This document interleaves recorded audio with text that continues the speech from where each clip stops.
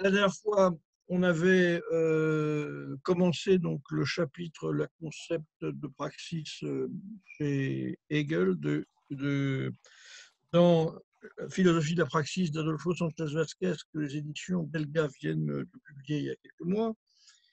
Et donc, euh, il y avait eu un peu de grésillement quand même, il hein, faut bien dire, effectivement.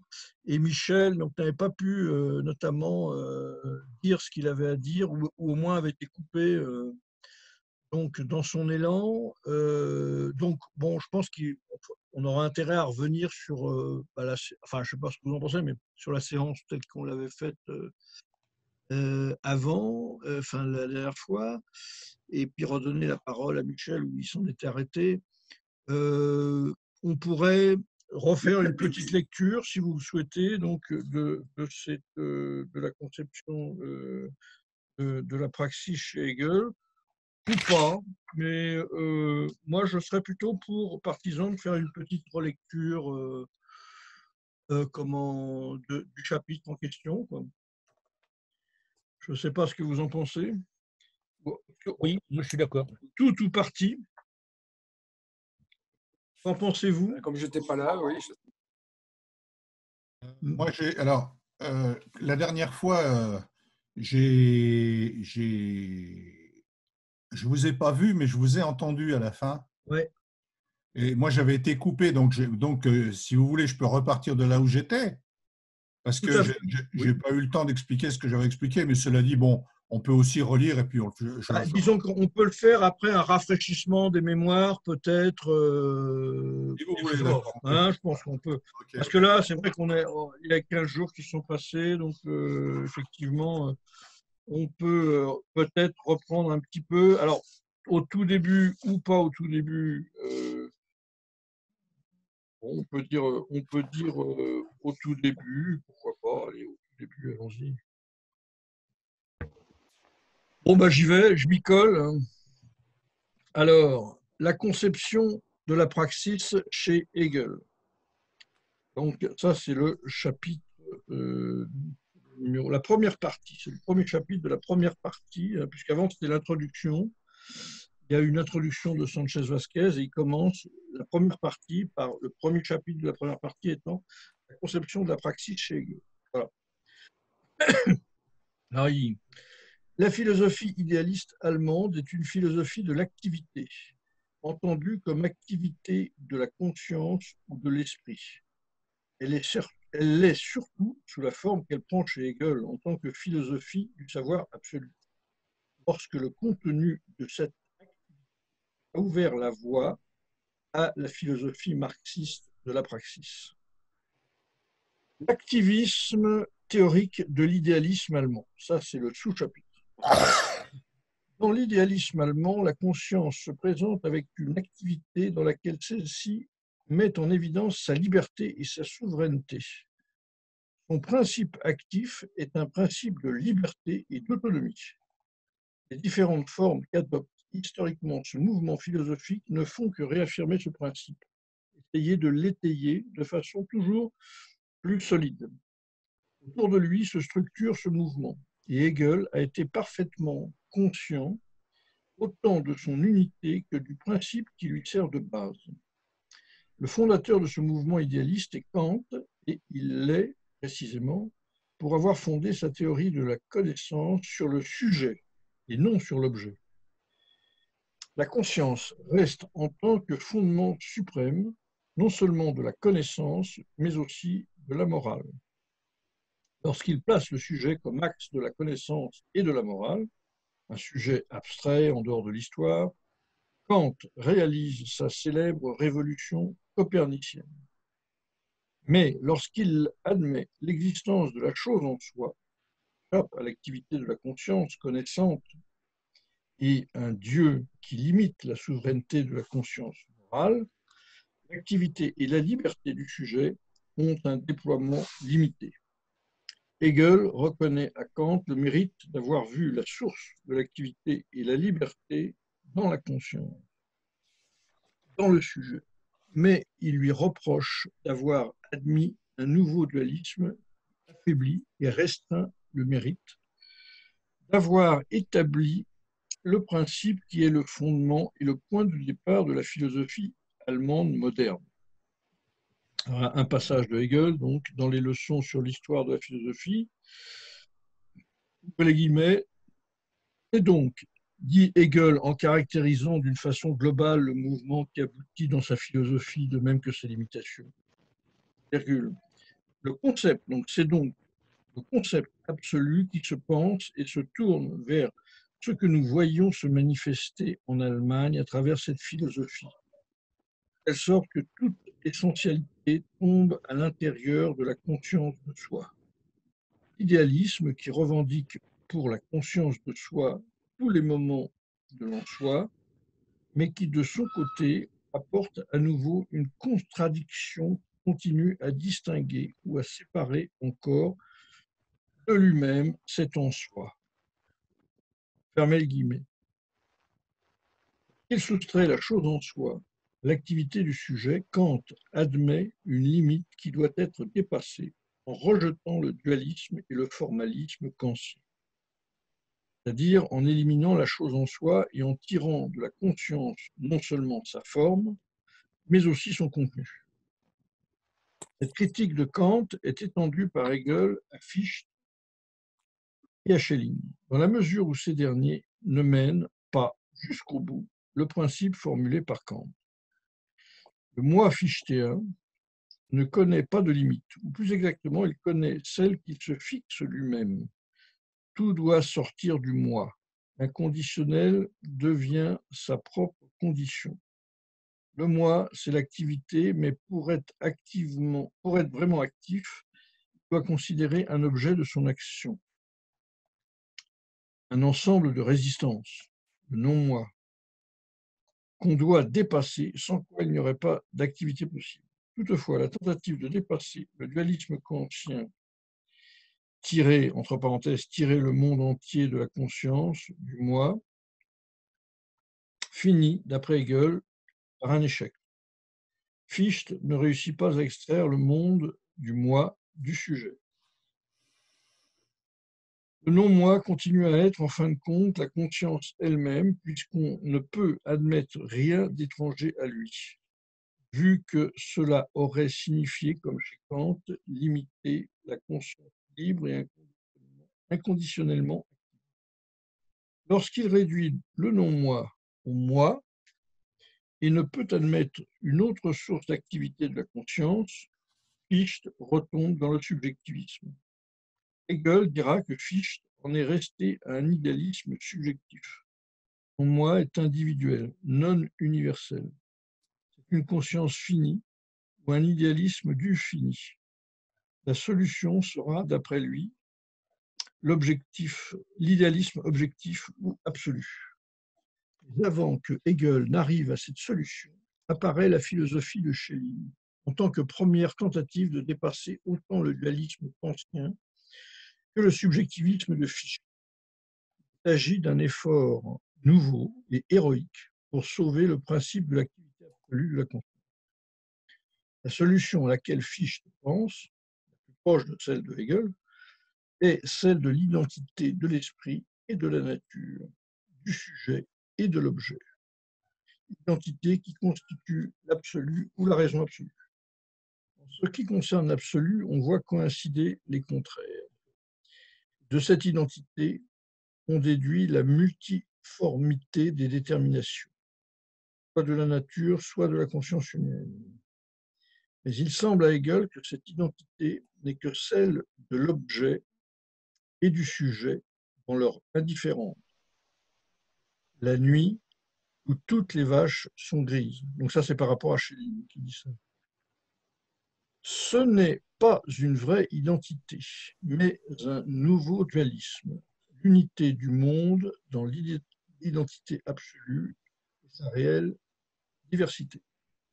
C'est-à-dire que Schelling ne réussit pas à expliquer de façon satisfaisante, d'après Hegel, comment s'autodéveloppe l'absolu, comment l'unité sort de la diversité.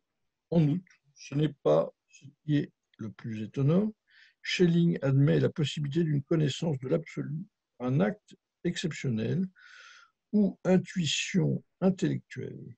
Par contre, Hegel pense que la connaissance absolue, connaissance que ce dernier a de lui-même, est un processus dans lequel il n'y a pas un abîme infranchissable entre la conscience ordinaire et la conscience philosophique. Et au cours duquel la conscience s'élève depuis un échelon le plus bas, la certitude jusqu'au savoir absolu. La philosophie idéaliste allemande est une philosophie de l'activité de la conscience ou de l'esprit. Cet activisme spirituel n'a pas cessé d'être en relation, et Hegel, comme nous le verrons, est conscient de cela, avec des circonstances historiques concrètes, réelles, de son époque, autant en Allemagne qu'ailleurs. La prédominance qui est attribuée à l'activité spirituelle théorique a lieu justement dans un pays, l'Allemagne, dans une époque, deuxième moitié du XVIIIe siècle et première décennie du XIXe, dans laquelle, en contraste avec cette prédominance de la théorie au riche déploiement de la philosophie allemande, on observe une grande misère dans le domaine de l'activité pratique révolutionnaire. L'opposition est évidente et est évidente si on compare la passivité de l'Allemagne ces années avec les grands événements révolutionnaires français. Avec la révolution de 1789, la création d'un nouvel ordre, l'ordre bourgeois, qui, déplace j'aurais plutôt mais qui aimait peut-être l'ancien régime, devient une question pratique. Tandis qu'en Allemagne, c'est, et cela continue de l'être même après la mort de Hegel, une question théorique. Tandis que les Français ont passé avec leur révolution de la théorie à la pratique, les Allemands restent dans le domaine de la théorie. Hegel est conscient de cette réalité c'est-à-dire du divorce entre la théorie et l'action. C'est pourquoi il ne cesse de poser une question sur laquelle Marx reviendra dans son introduction à la critique de la philosophie du droit de Hegel, en 1843. Hegel part de la reconnaissance du fait que dans la révolution pratique, réelle, opérée en France, et dans la révolution qu'il attend en Allemagne, du système de Kant et de son couronnement, ce même principe celui de la liberté de la volonté, établi par la philosophie. Donc la citation de Hegel, euh, euh, sortie de des leçons sur la philosophie d'histoire, ouvrez les guillemets, dans ma volonté, il n'y a rien de bizarre, rien ne peut être imposé, ne, me peut être imposé en tant qu'autorité les Allemands, cela n'a été qu'une théorie pacifique, mais les Français ont voulu la réaliser pratiquement. Alors naît la double question. Pourquoi ce principe de la liberté demeurera-t-il seulement formel Pourquoi les Français ont-ils été les seuls à le réaliser et non les Allemands? Point d'interrogation, fermez. De cette façon, Hegel considère qu'autant les Allemands que les Français ont essayé d'affirmer le principe kantien de la liberté de la volonté. Mais les Français ont voulu le mettre en œuvre tandis que les Allemands en restaient au plan de la théorie. Pourquoi cette différence? Pourrait dire, répond Hegel, que les Français ont le sang chaud, ils ont la tête près du bonnet. Mais la raison la plus profonde est plus profonde. C'est toujours Hegel qui parle. En Allemagne, le principe formel de la philosophie oppose le monde et la réalité concrète avec des besoins de l'esprit satisfaits à l'intérieur. Les Allemands pouvaient agir pacifiquement sur ce point parce qu'ils étaient réconciliés avec la réalité. Fermez les guillemets. D'après les Allemands agissent parce que les protestants, les guillemets, donc les protestants ont déjà réalisé leur révolution avec la réforme. Et cette réalité avec laquelle ils se sont réconciliés, c'est le monde protestant. La philosophie de Hegel montre ici son visage conciliateur avec le monde tel qu'il est. Elle exclut pour l'Allemagne la nécessité de changements révolutionnaires comme ceux qu'on produit en France en se réfugiant derrière des changements déjà réalisés par la réforme au plan spirituel. La réforme est présentée par lui comme une révolution particulière qui, qui ne rend pas nécessaire une révolution pratique, réelle. Il s'agit de continuer cette œuvre commencée par la réforme. C'est pourquoi on doit mettre l'accent sur l'activité de la conscience, de l'esprit. En faisant de nécessité vertu, le philosophe idéaliste allemand place la transformation de la conscience à la hauteur d'une révolution pratique, comme la Révolution française. Heine disait que si les Français avaient décapité un roi, Kant, avec sa critique de la raison pure, avait décapité Dieu. Fichte n'avait pas hésité à passer sur le même plan la Révolution française et sa doctrine du moi, en tant qu'affirmation, l'une pratique et l'autre théorique, principe de l'autonomie de la volonté, de la souveraineté de la raison dans l'homme. Voyons donc que les philosophes idéalistes allemands, et en particulier Hegel, étaient conscients du déséquilibre entre la théorie et la pratique, et ont essayé de mettre en relation cet activisme de la conscience avec des circonstances historiques réelles telles que la réforme.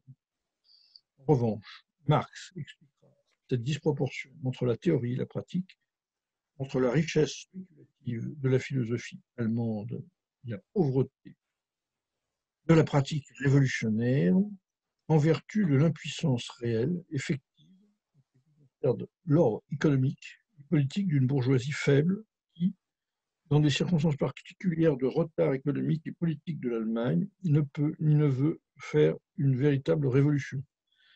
L'Allemagne est un véritable anachronisme. Cet anachronisme explique que les Allemands sont seulement des contemporains dans le domaine de la pensée, pas dans celui de l'action réelle. L'activisme théorique, déterminé par la pauvreté d'une praxis réelle, effective, trouve en même temps sa justification théorique dans le mouvement idéaliste qui revendique l'activité de la conscience, de l'esprit, jusqu'à l'élever sur le plan inconditionnel et absolu, auquel Hegel le place? différence de Kant, Fichte et Schelling, dans sa philosophie, il n'y a rien qui limite et conditionne cette activité. La souveraineté absolue de l'esprit, que l'esprit est le tout c'est l'esprit qui se déploie non seulement dans le monde proprement spirituel qui s'achève, dans l'art, la religion et la philosophie, mais aussi dans la nature ou dans l'histoire humaine. Hegel ne sépare pas l'esprit et le monde, le sujet et l'objet, comme le font ses précurseurs incapables de s'élever vers le point de vue de l'identité absolue. Franchissement signifie pour lui, parler du monde qui, définitive, est l'esprit et par conséquent est un processus d'autoconnaissance spirituelle, autant en ce qui concerne son sujet que son objet. Je pense plutôt. Bien entendu, le sujet, l'esprit, ne s'élève pas immédiatement vers cette autoconnaissance plénière qui est le savoir absolu. Il va parcourir un long itinéraire que Hegel expose dans le Accéder à Zoom doit parcourir un long itinéraire que Hegel expose dans la phénoménologie.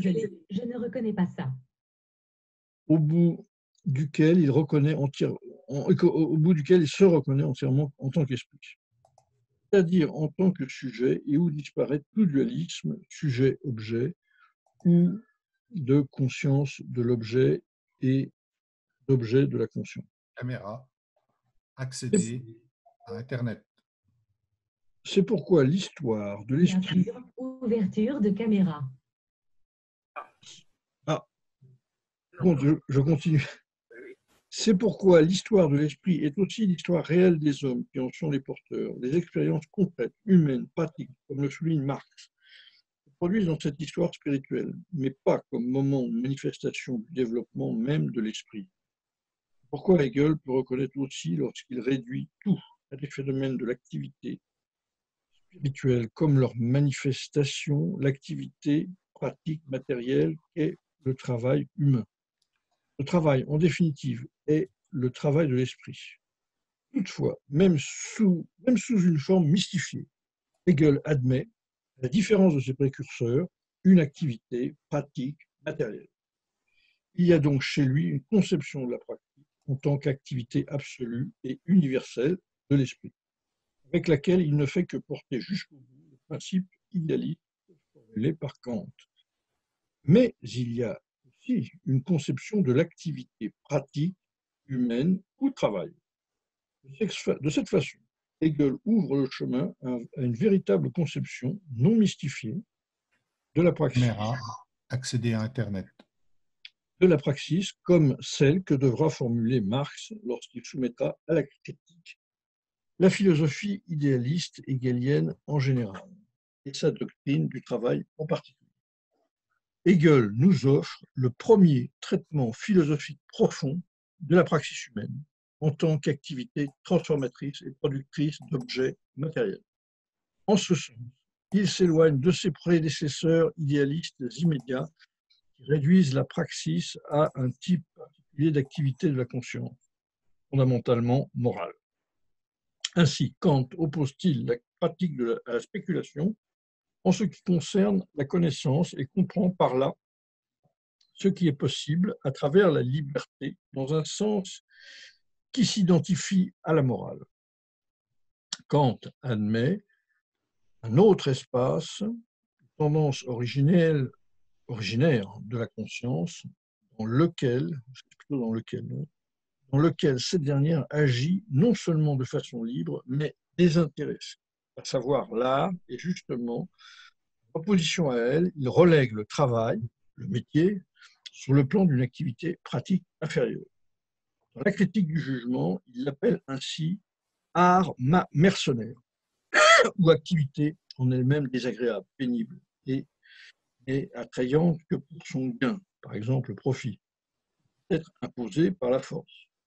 C'est-à-dire que Kant ne voyait pas dans une activité pratique manuelle un champ d'action propre à l'homme en tant qu'être puisque ce champ n'est autre que celui de la pratique dans le sens restreint moral et en quelque sorte dans l'art, mais dans un cas ou dans l'autre, dans une activité. Ouvrir caméra. Dans une activité de la conscience. Comme nous l'avons vu, Fichte attribue à l'action un sens moral ou à son éthique une nature active. Mais ici, l'activité du moi acquiert une nuance métaphysique, puisqu'elle ne peut se réaliser qu'éthiquement, en créant un monde objectif ou non-moi, sans lequel elle ne pourrait pas exister véritablement. Hegel dépasse le contenu de la pratique dans le sens restreint, moral, de Kant, dans le sens Ouvrir caméra. moral, métaphysique, de Fichte. la première fois, il intègre dans son activité pratique le travail humain. Ouvrir caméra. Cela contribue euh, à cela contribue considérablement sa connaissance de la science économique la plus avancée de son époque, l'économie politique anglaise. Mais, comme nous le verrons plus tard, Hegel peut seulement intégrer le travail dans sa conception générale de l'activité, qui est, on ne doit pas l'oublier, l'activité de l'esprit, attribuant au travail un contenu qui dépasse celui purement économique d'Adam Smith et d'autres économistes.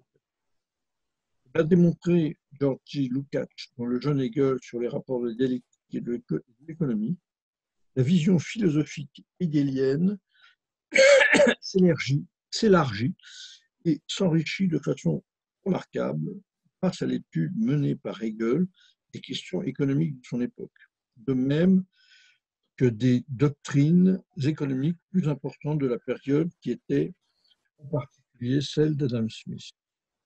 Donc, un passage de Lukács dans Jeune Hegel, ouvrez les guillemets, Hegel, dit Lukács, est non seulement le philosophe qui, en Allemagne, a une compréhension profonde et la plus adéquate de l'essence de la Révolution française et de la période napoléonienne, mais il est aussi le penseur allemand de la période qui s'est occupé sérieusement des problèmes de la révolution industrielle qui s'était produite en Angleterre le seul qui, à cette époque, a mis en relation les problèmes de la philosophie et de la dialectique fermée les guillemets.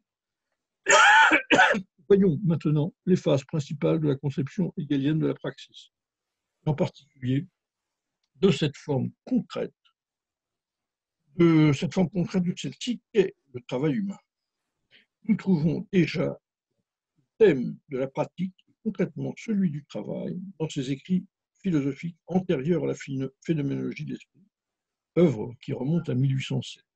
Les écrits sont le fragment du système 1800, le système de la moralité 1802 et les deux cours de la réelle philosophie 1803, 1804 et 1803. 1806, tout de suite, le thème apparaît à nouveau dans la phénoménologie d'esprit. Le travail humain s'intègre dans le processus actif universel qui a pour sujet ultime l'esprit. Enfin, le thème est repris dans une œuvre de la maturité, axe de son système comme la science de la logique. Voyons dans les grandes lignes le traitement philosophique de la praxis en tant qu'activité dans les différentes œuvres de Hegel qui correspondent à trois phases de son évolution philosophique. Donc après, il, fait, il y a trois sous-chapitres pour trois périodes de, la production euh, de Hegel. Voilà.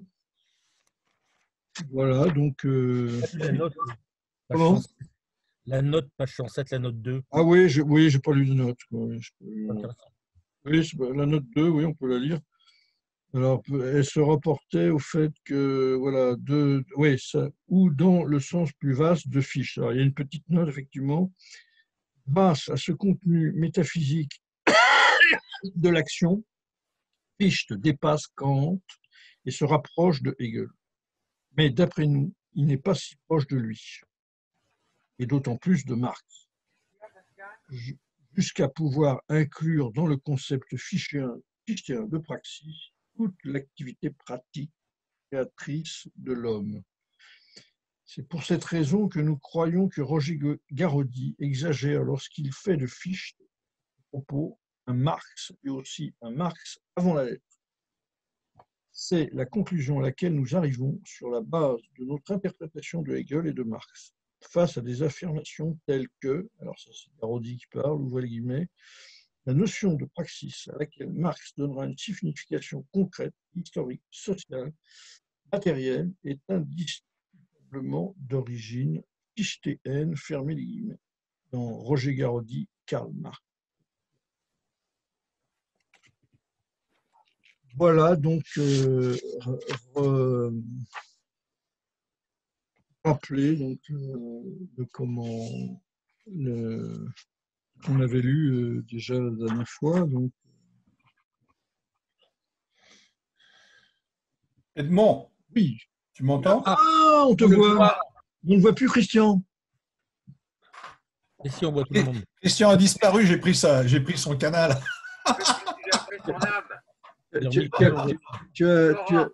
Christian, où es-tu?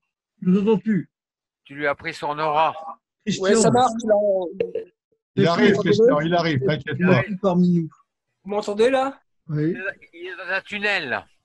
Dans un tunnel. Je suis dans un tunnel, vous m'entendez? Oui, oui, on t'entend bien, mais on ne te voit pas. Oui, je vais rétablir ça. J'en ai pas pour longtemps. Je, vais, je, vais, je m'occupe de ça tout de suite. Voilà, donc euh, relu le, le, passage qu'on avait euh, commencé à commenter la dernière fois. Et voilà, donc, euh, à peu près les. Y a, avant, de laisser, avant de laisser la parole, Michel, donc peut-être, il y a quelque chose que peut-être on aurait pu. Euh, parce que je crois qu'on l'entend souvent, ça, et qu'on n'a pas toujours une idée claire. Hein, le passage de. Et donc, ça recoupe ce à quoi on se, se ce dont on se préoccupe. Voilà. Quand euh, Sanchez Vasquez dit euh, Mais il semble à Hegel, donc page 103, que cette identité n'est que celle de l'objet et du sujet dans leur indifférence. Et il rajoute cette, ce, cette, enfin, ce, passage qui est assez célèbre, la nuit où toutes les vaches sont grises. Donc ça, c'est dans la phénoménologie de l'esprit. D'ailleurs, je note qu'il y a plusieurs. Euh, parfois, ils disent, je ne sais pas si c'est tellement important, la nuit où toutes les vaches sont grises et parfois la nuit où toutes les vaches sont noires.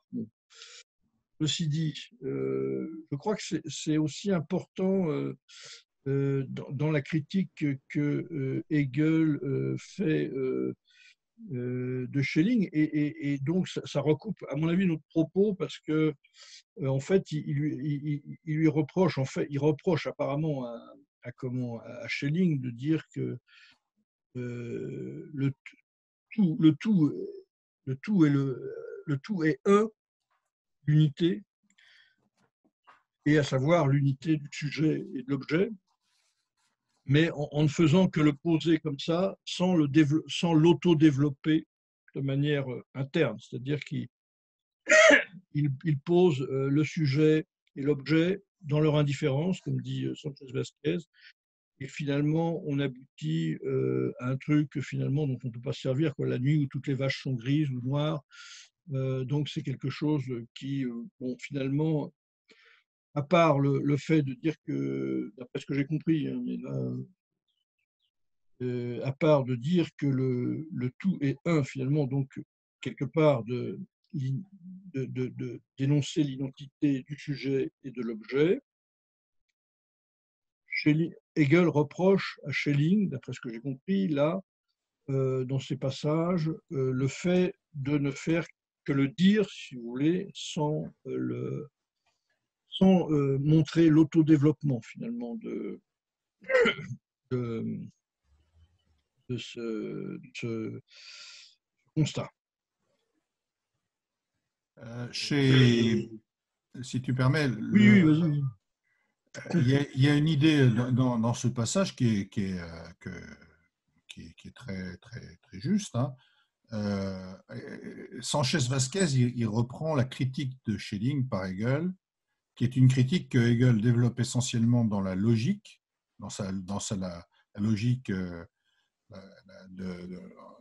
dans, sa logique, hein. aussi bien d'ailleurs dans la grande logique de- des éditions de la logique euh, comme première partie de l'encyclopédie.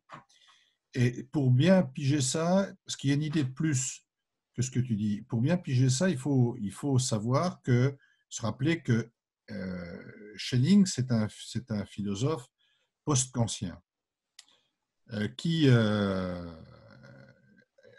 est arrivé, comme les autres, à, la conclusion de Kant euh, que Dieu est mort finalement. C'est-à-dire que le, dualisme kantien interdit toute forme de connaissance positive de Dieu et que finalement, Dieu ne peut trouver re- refuge, si je puis dire, que dans le cœur des hommes, ce qui d'ailleurs accessoirement est un pas euh, vers euh, une sorte de renversement aussi chez Kant de la notion de divinité, puisque euh, si, Dieu réside dans le cœur des hommes, c'est qu'il n'est plus aussi, et seulement dans le cœur des hommes, c'est qu'il n'est plus aussi puissant et plus aussi créateur qu'on voulait bien le dire avant.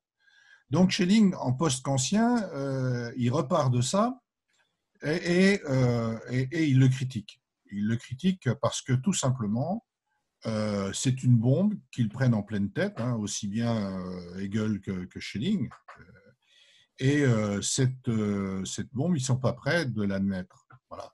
D'autant plus que, je le rappelle, les lettrés de l'époque en Allemagne sont essentiellement des gens d'église ou des gens qui se promettent à un métier d'église ou à une fonction d'église et qu'ils ont une culture théologique euh, extrêmement développée et qu'ils jugent un petit peu euh, le monde à l'aune de cette, euh, de cette culture et de la pertinence qu'elle a encore ou pas à expliquer les choses. Donc c'est très difficile pour eux d'accepter le nouveau paradigme kantien qui sera accepté beaucoup plus facilement, par exemple, en France hein, que- que- qu'en Allemagne, pour des raisons euh, bien précises. mais Enfin, je ne vais pas m'étaler là-dessus.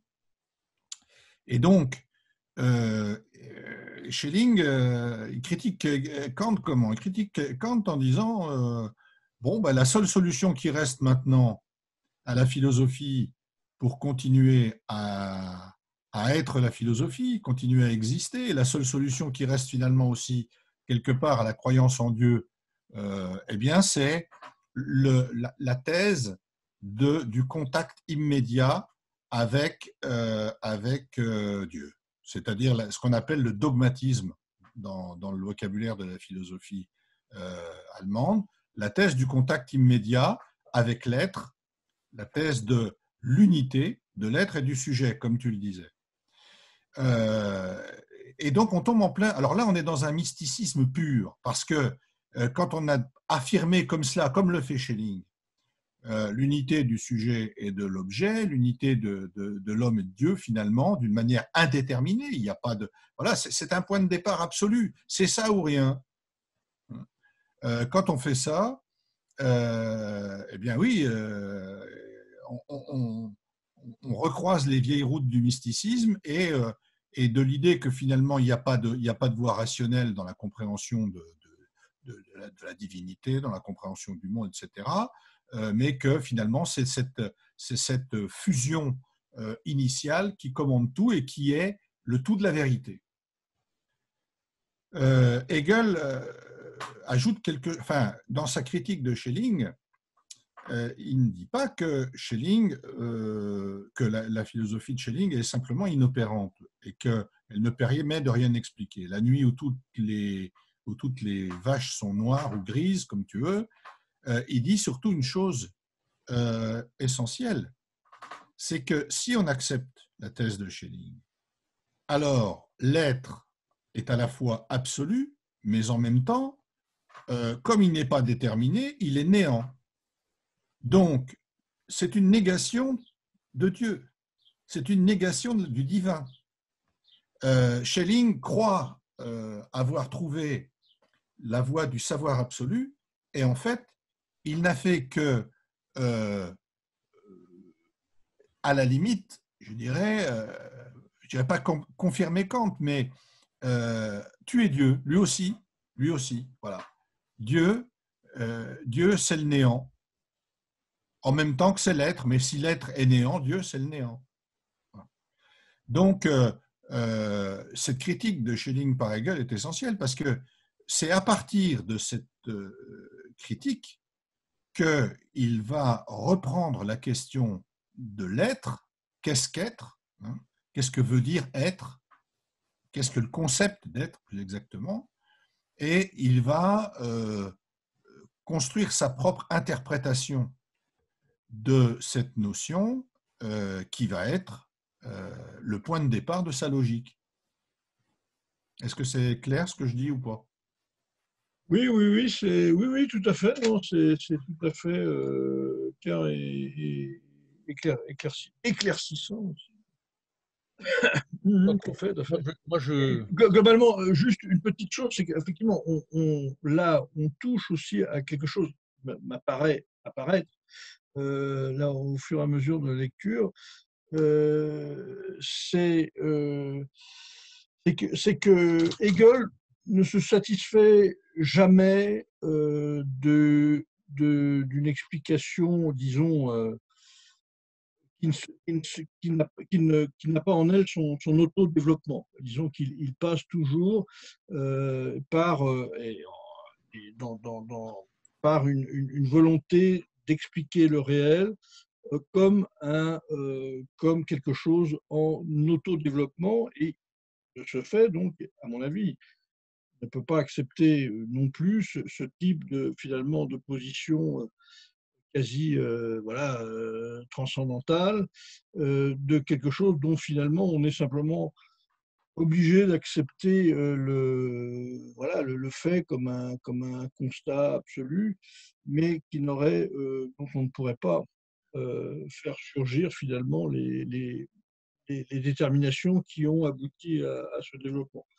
Je crois que là-dessus, je crois que c'est un des points, donc, voilà, à la lecture que, j'en ai, qui, peut peut-être ressortir, qu'on pourrait peut-être regarder s'il ressort par, par la suite. Je pense qu'il, plusieurs fois, ça ressort, que Hegel ne peut se satisfaire d'un quelque chose comme un, impératif quasi voilà transcendantal qui euh, qui euh, donc euh, qui ferait foi.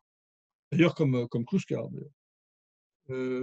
je pense que c'est un c'est quelque chose qui, qui sans doute quelque part parcourt parcourt son œuvre peu que, que j'en connais.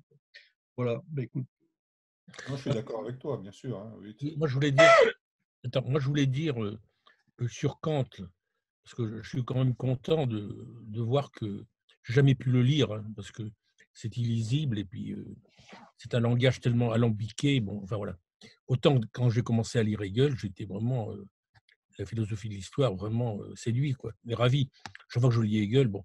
Mais par contre, je, suis d'accord que qu'il liquide Dieu dans la critique de la raison pure, parce que c'est le, le sujet qui va, qui, va, qui va, par son action, devenir objet, c'est-à-dire c'est-à-dire que c'est le sujet qui va, comme il dit, c'est un juge, en posant des questions, qui va acculer la nature qui garde ses secrets à, lâcher l'histoire de, des astres vagabonds et de Copernic. C'est, c'est l'activité du sujet qui, qui euh, oblige la nature de sortir de son, de son opacité et de, sa, de, son, de, sa, de, son, de ses ténèbres.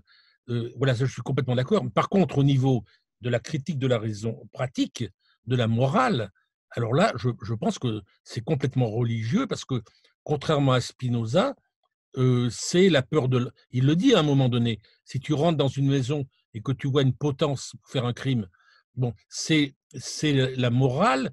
C'est euh, Spinoza nous montre clairement que les passions passives euh, détruisent et que les passions actives nous épanouissent et nous amènent à la liberté. Pour Kant, il y a l'impératif, voilà, un impératif euh, absolu que, la, que la, le- voilà, que la, la loi étoilée, euh, la, loi morale. C'est quoi la loi morale? C'est les conventions, c'est la, c'est, la religion. C'est pas, c'est pas la, Non, non, non, la loi morale, c'est pas du tout la religion. Non, non, pas du tout. ou alors, c'est pas le conatus en tous les cas. Chez, chez Ah Kant, non, il y a le non, conatus. plus. Non, la- non, c'est ce que je disais tout à l'heure. La loi morale est dans le cœur des hommes. La loi morale, c'est la, déc- la- la déduction, le produit de la déduction Copper-Kant à partir de la notion de raison naturelle, euh, et qui répond à la question euh, que puis-je faire? Hein, la, la- la- Ça veut dire quoi la, la- la cri- la critique de la, la- la- la critique de la raison, euh, de la raison euh, euh, pure répond à la question que puis-je savoir? Eh ben, Ce que je peux savoir, c'est tout ce que je peux savoir dans les limites de ma simple raison. Que puis-je faire? C'est comment, à partir de ce que je peux savoir, puis-je agir? Et soit euh, cette déduction ne donne rien et il n'y a pas de morale possible, soit il trouve une loi universelle de l'action morale euh, qui est forcément dans le cœur des hommes, puisqu'elle ne peut pas sortir d'une connaissance ni transcendante ni naturelle. Et cette, loi, euh, il l'appelle impératif catégorique.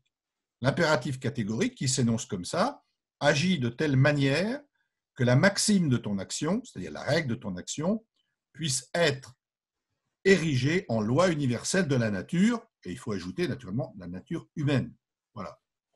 Euh, donc c'est une, c'est, c'est, c'est le, la, la maxime à partir de laquelle tout homme, tout sujet, donc le cœur des hommes, peut décider de son action morale, c'est-à-dire euh, juste, libre, euh, et, il y a là-dedans euh, rien qui n'a à voir avec la religion. Strictement rien n'a à voir avec la religion. C'est pour ça, on, est en dehors du champ de la religion. La religion, le domaine des conventions, ça va être le domaine euh, de, de, comment dire, d'une, autre forme d'activité humaine, c'est euh, l'activité des règles sociales, l'activité des, des idées reçues, l'activité des, des, de, l'idée, ce qu'on appellerait l'idéologie. Voilà. Et, euh, et ça, quand, quand, bien sûr, il s'y intéresse, mais euh, il, construit une barrière radicale entre ça et, et, et l'axiome, l'axiome moral. Euh, ce qui fait que quand tu as eu beaucoup de succès chez les athées, et en particulier chez les anticléricaux, parce que effectivement, euh, on peut parfaitement ne pas croire en Dieu et respecter les règles morales, enfin la- la- l'axiome moral kantien. Aussi être, euh, euh, religieux et, l'accepter. La question n'est pas là. Parce que euh, la- l'axiome moral, en tant que principe de la raison universelle, transcende les croyances et permet d'ailleurs de les dépasser dans une vision de la justice elle-même universelle qui va au-delà des préceptes religieux ou des enseignements religieux. Mais Alors Maxime, mais attends, mais alors Maxime, un maxi- si la Maxime euh, et la loi, euh, c'est pas des conventions, c'est quoi? Pas une- non, c'est n'est pas une convention parce qu'elle est déduite De toute façon, c'est par complètement selon, elle est déduite selon la raison pure. Alors là, on entre dans, on entre dans le, on entre dans le, dans le, dans dans- dans l'univers du vocabulaire kantien. Euh, Non, Il y, a- il y a deux choses. Pour Kant, les, tout ce qui est de l'ordre de la maxime est de l'ordre, euh, pardon, tout ce qui est de l'ordre de la, de la croyance religieuse, politique, tout ce que tu veux, est de l'ordre de, euh, la raison euh, dans, son, usage, euh, je dirais, comment, dire, conventionnel, social. Mais la, maxime morale, elle fait l'objet d'une déduction à partir des principes de la raison pure. Et il n'y a rien là-dedans qui soit de l'ordre du psychologique, du social ou quoi que ce soit. C'est quoi la Maxime? C'est quoi la Maxime absolue? C'est quoi? C'est Comment quoi sa Maxime absolue? Alors, par, exemple, par exemple, le droit de mentir, c'est n'importe quoi. Si on cache un nazi, on doit, on doit le, dé- le dénoncer. Si on cache un résistant, on doit le dénoncer à la Gestapo. C'est ça qui c'est ça qui traite dans le droit de mentir. On n'a pas le droit de mentir. Alors, le, droit, le droit de mentir, c'est- c'est- le droit de mentir, c'est c'est- c'est, euh, euh, justement, enfin, dans- dans- autant que je me souvienne de ce passage-là, Kant expose toute la contradiction qui peut y avoir dans euh, la situation d'un individu et, il- et- et- et comment, comment cet individu, cette- ce sujet, euh, est amené par euh, l'usage de l'axiome de la raison à se situer dans une problématique morale qui est toujours singulière. On ne doit jamais mentir. Comment C'est pour On ça que Sartre mentir. dit euh, quelque chose de l'ordre de euh, les, mains de les mains de Kant restent propres, mais il n'a pas de main. Ah bah voilà Ah bah on est d'accord pas de main alors tout simplement parce Ah que alors on est complètement d'accord alors ah bah non, on n'est pas complètement d'accord, non. Mais euh, C'est pas mais- ce qui se passe. attends, c'est pas la question d'être d'accord. Sartre dit ça. Sartre a tort de dire ça. Ah non, je dis pas que Sartre a tort de dire ça. Je, je- pas du tout. Je- Il Mais a les mains pures, mais il n'a pas de main. Alors, si tu veux mon avis, si tu veux mon avis, moi je ne fais, je, ne- je ne- je ne suis pas en train de, comment dire, de faire un exposé prodomo de la philosophie de Kant pour expliquer que c'est le meilleur des philosophes qui soit. La question n'est pas là. J'explique simplement, j'essaye d'expliquer à la fois pour moi, parce qu'en même temps ça me refait remémorer un tas de choses, et pour, euh, et, pour vous si vous, le voulez bien, euh, ce, que Kant cherche à dire. Kant, euh, Kant, c'est l'homme de les Lumières, c'est l'homme de la philosophie de la raison. C'est sans doute à la fois le- l'apothéose et le crépuscule de la philosophie des Lumières. Et donc, euh, sa, boussole, c'est la raison humaine. Et la, capacité qu'elle a à déterminer, à euh, énoncer des principes qui sont des principes universels c'est-à-dire des principes autoconsi- autoconsistants, qui n'ont pas besoin de l'expérience ou ou qu'elle soit sociale, qu'elle soit euh, pour être pour être vrai. D'accord? Alors il en trouve dans les mathématiques. Il a l'exemple des mathématiques. Il dit eh oui, il dit 2 et 2 font 4.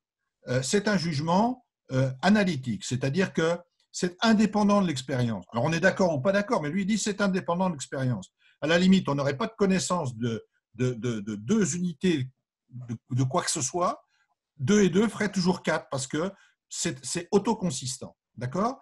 Et donc, moi, je vais rechercher, moi, Kant, je vais rechercher dans euh, le panorama de la, pensée humaine euh, si de tels jugements existent dans le domaine du savoir, critique de la raison pure, et dans le domaine de la morale.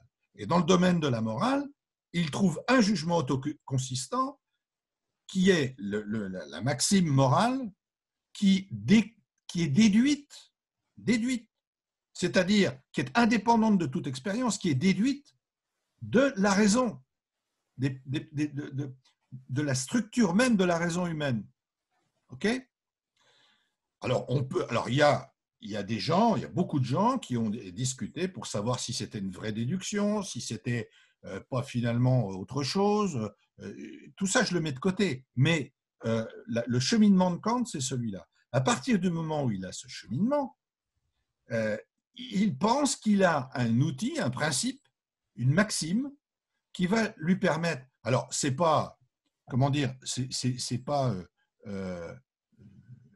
quelque chose qui permet de donner des solutions à tout problème moral. C'est quelque chose simplement qui permet de penser un problème moral et d'envisager, d'orienter son action par la pensée. Voilà. C'est ce qu'il fait. Alors, euh, Sartre, ce que dit Sartre, c'est la chose suivante. Il dit ça, c'est bien beau, mais avec ça, on fait rien. Avec ça, euh, on ne libère pas les opprimés. Avec ça, euh, les drames de l'existence ne, sont pas abordables. Il n'y a, a, rien qui fonctionne dans cette affaire. C'est abstrait. La critique de Sartre, c'est abstrait. Donc, Kant a les mains propres, ou les mains blanches, ou tout ce que tu veux, mais il n'a pas de main. C'est-à-dire que son axiome est parfait, mais il ne règle rien. Et quand on essaye de le, de le mettre en œuvre dans la vie, eh bien, il n'y a pas de solution.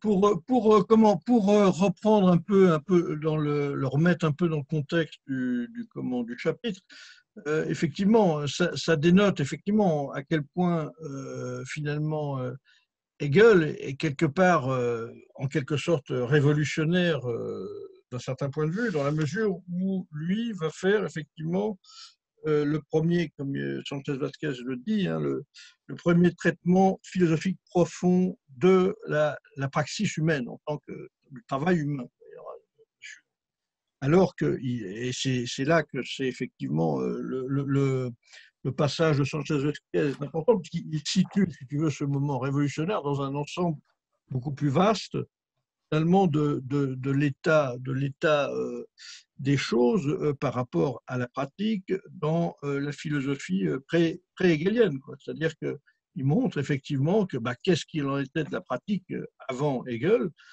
Eh bien, voilà, donc c'était, n'avait qu'une une, comment, une portée seulement au mieux morale, euh, sinon euh, c'était considéré comme un, art mercenaire par Kant, hein, et euh, au contraire, effectivement, de l'art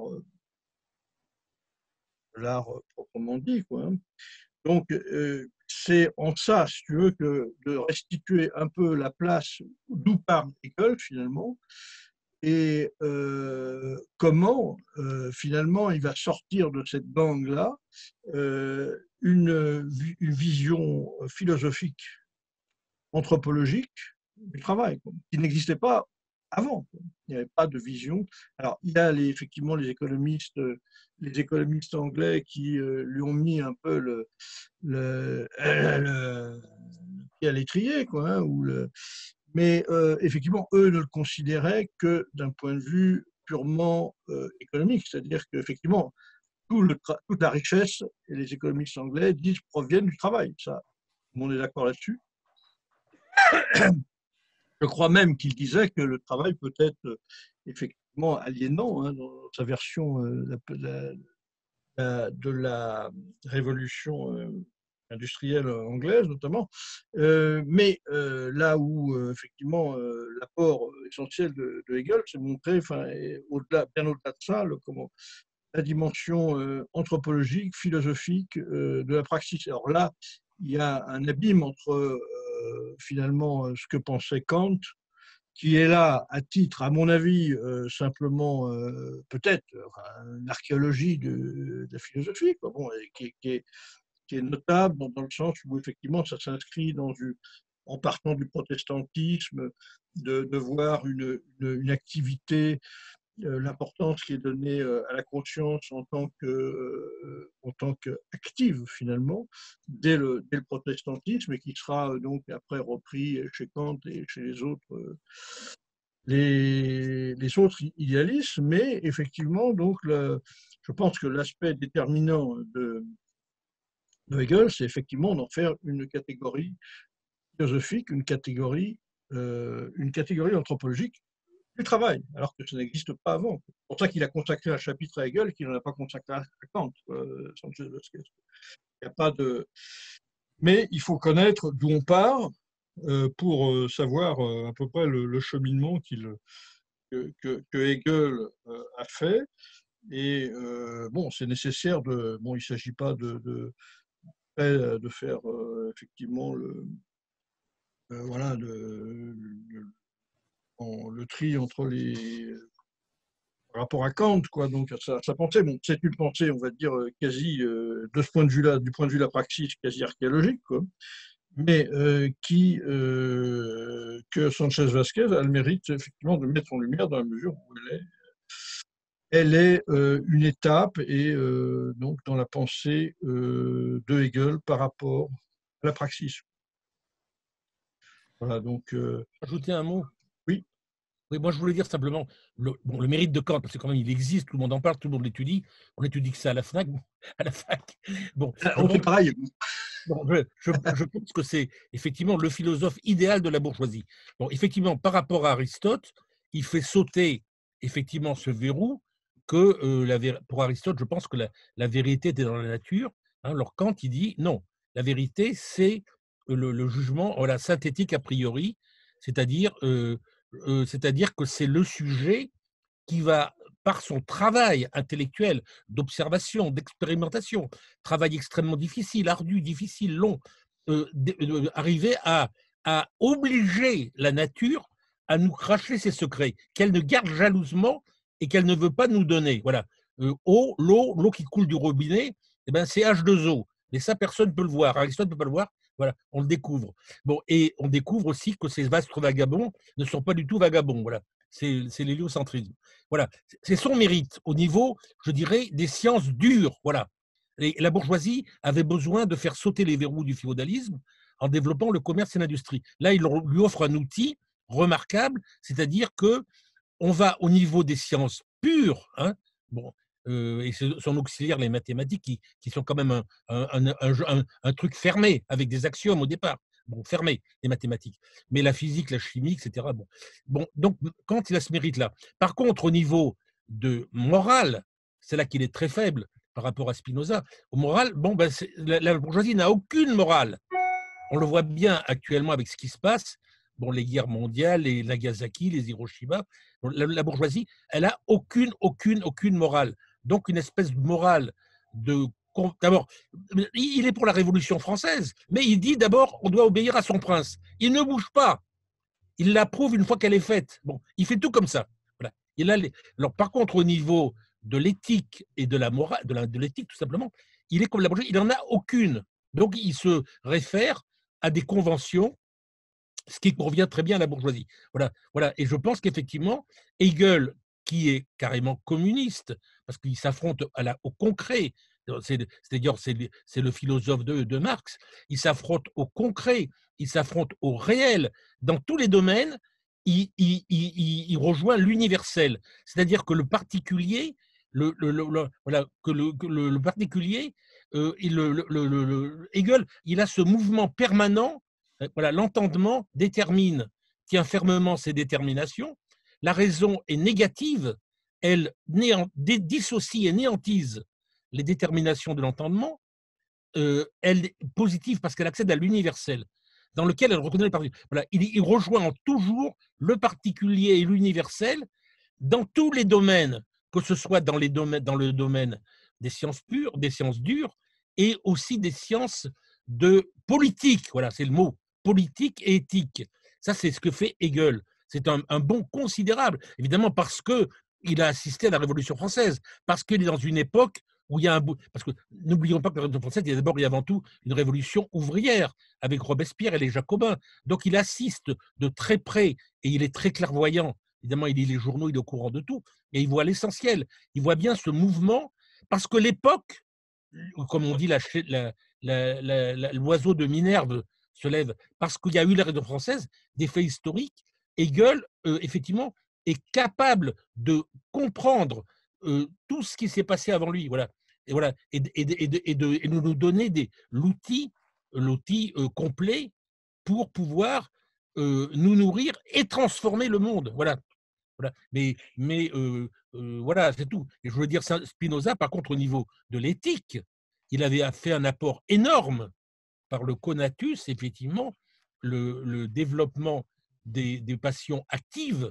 Voilà. Et, voilà, mais il n'avait pas, il n'était pas, l'époque ne, ne permettait pas de faire ce qu'a fait Hegel. Voilà. voilà ce que je voulais dire simplement. Et alors effectivement, je ne connais pas Schelling, je ne connais pas Schiller, mais, euh, mais euh, on avait effectivement, il, faut, il fallait, grâce à tout, à tout ça, comme dit Hegel, tout est, tout est intéressant. Le moindre fait humain est intéressant. Lui, il arrive à le, à le mettre dans son ensemble. Et tous ces faits humains, euh, aucun n'est négligeable, aucun n'est négligeable. Et tout cela, il arrive à le synthétiser, comme a fait Platon à son époque, avec les présocratiques, ce que font les philosophes d'ailleurs. Ils font des synthèses. Voilà. Et, c'est la dernière synthèse, à mon avis, philosophique, actuelle, qui, euh, qui est euh, extrêmement. Tu, as, tu, as, tu, as, tu, as, dit, Michel, que tu viens de lire la logique, qui, qui vient, qui, qui, nous apporte. Les, actuellement, on en est là. Voilà. Et on n'a pas, évidemment, tous ces faux prophètes que dénonce Coustar, Derrida, Deleuze, Foucault, etc. Bon, ça c'est. Mais encore que chez ces gens-là, il y, a à, y a à examiner et tirer des choses pour, pour en tirer d'autres conclusions. Parce que forcément qu'ils explorent aussi des domaines intéressants. Mais il ne faut pas forcément se limiter à leurs conclusions très limitées. Voilà, voilà ce que je voulais dire. Écoute, là, bon, peut-être alors, avant de laisser la parole à Michel, pour qu'il reprenne un peu son, son exposé euh, qui lui avait été euh, tronqué la dernière fois, euh, est-ce que Marc ou Christian, vous voulez dire quelques. Vous avez des, des, des remarques à faire ou on passe directement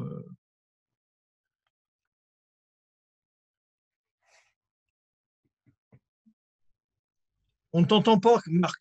Bah, moi, j'ai pas, j'ai, enfin, je, je, connais mal, donc j'ai pas grand-chose à dire. Simplement, euh, te fais lancer pour. Euh, non, non, simplement, moi, je, euh, je trouve que la, la, la, remarque de Michel sur le, rapport Kant, Schelling, Hegel est tout, est tout à fait intéressant. Euh, la, la, la, la, enfin, le rapport de la travail chez Hegel et, et enfin, bon, ça, je suis plus, je connais mal Hegel, donc je suis incapable de, de, porter un jugement sur, euh, euh, ou, disons en quoi, en quoi Hegel, euh, en quoi Hegel n'est quand même pas Marx, quoi, quelque part. Donc, voilà, quoi. En quoi, tu vois, en quoi on reste, on reste enfin, ou dit autrement, euh, c'est pas l'objet de notre étude directe, mais c'est le fameux débat quand, euh, quand on dit que du renversement de, Hegel, par Marx, en, quoi, euh, Hegel, même si euh, effectivement il évoque la catégorie du travail, reste dans la sphère, dans, le registre idéaliste, et en particulier en quoi il reste, comme, comme ça peut être des dernières fois, euh, bah, dans, le domaine, dans le domaine du religieux, pour partie quand même, quelque part. Donc voilà, moi tout ça, je connais pas assez, donc je n'ai pas, pas grand chose à dire, donc je préfère vous dire les oh, Bon, Christian, tu l'as.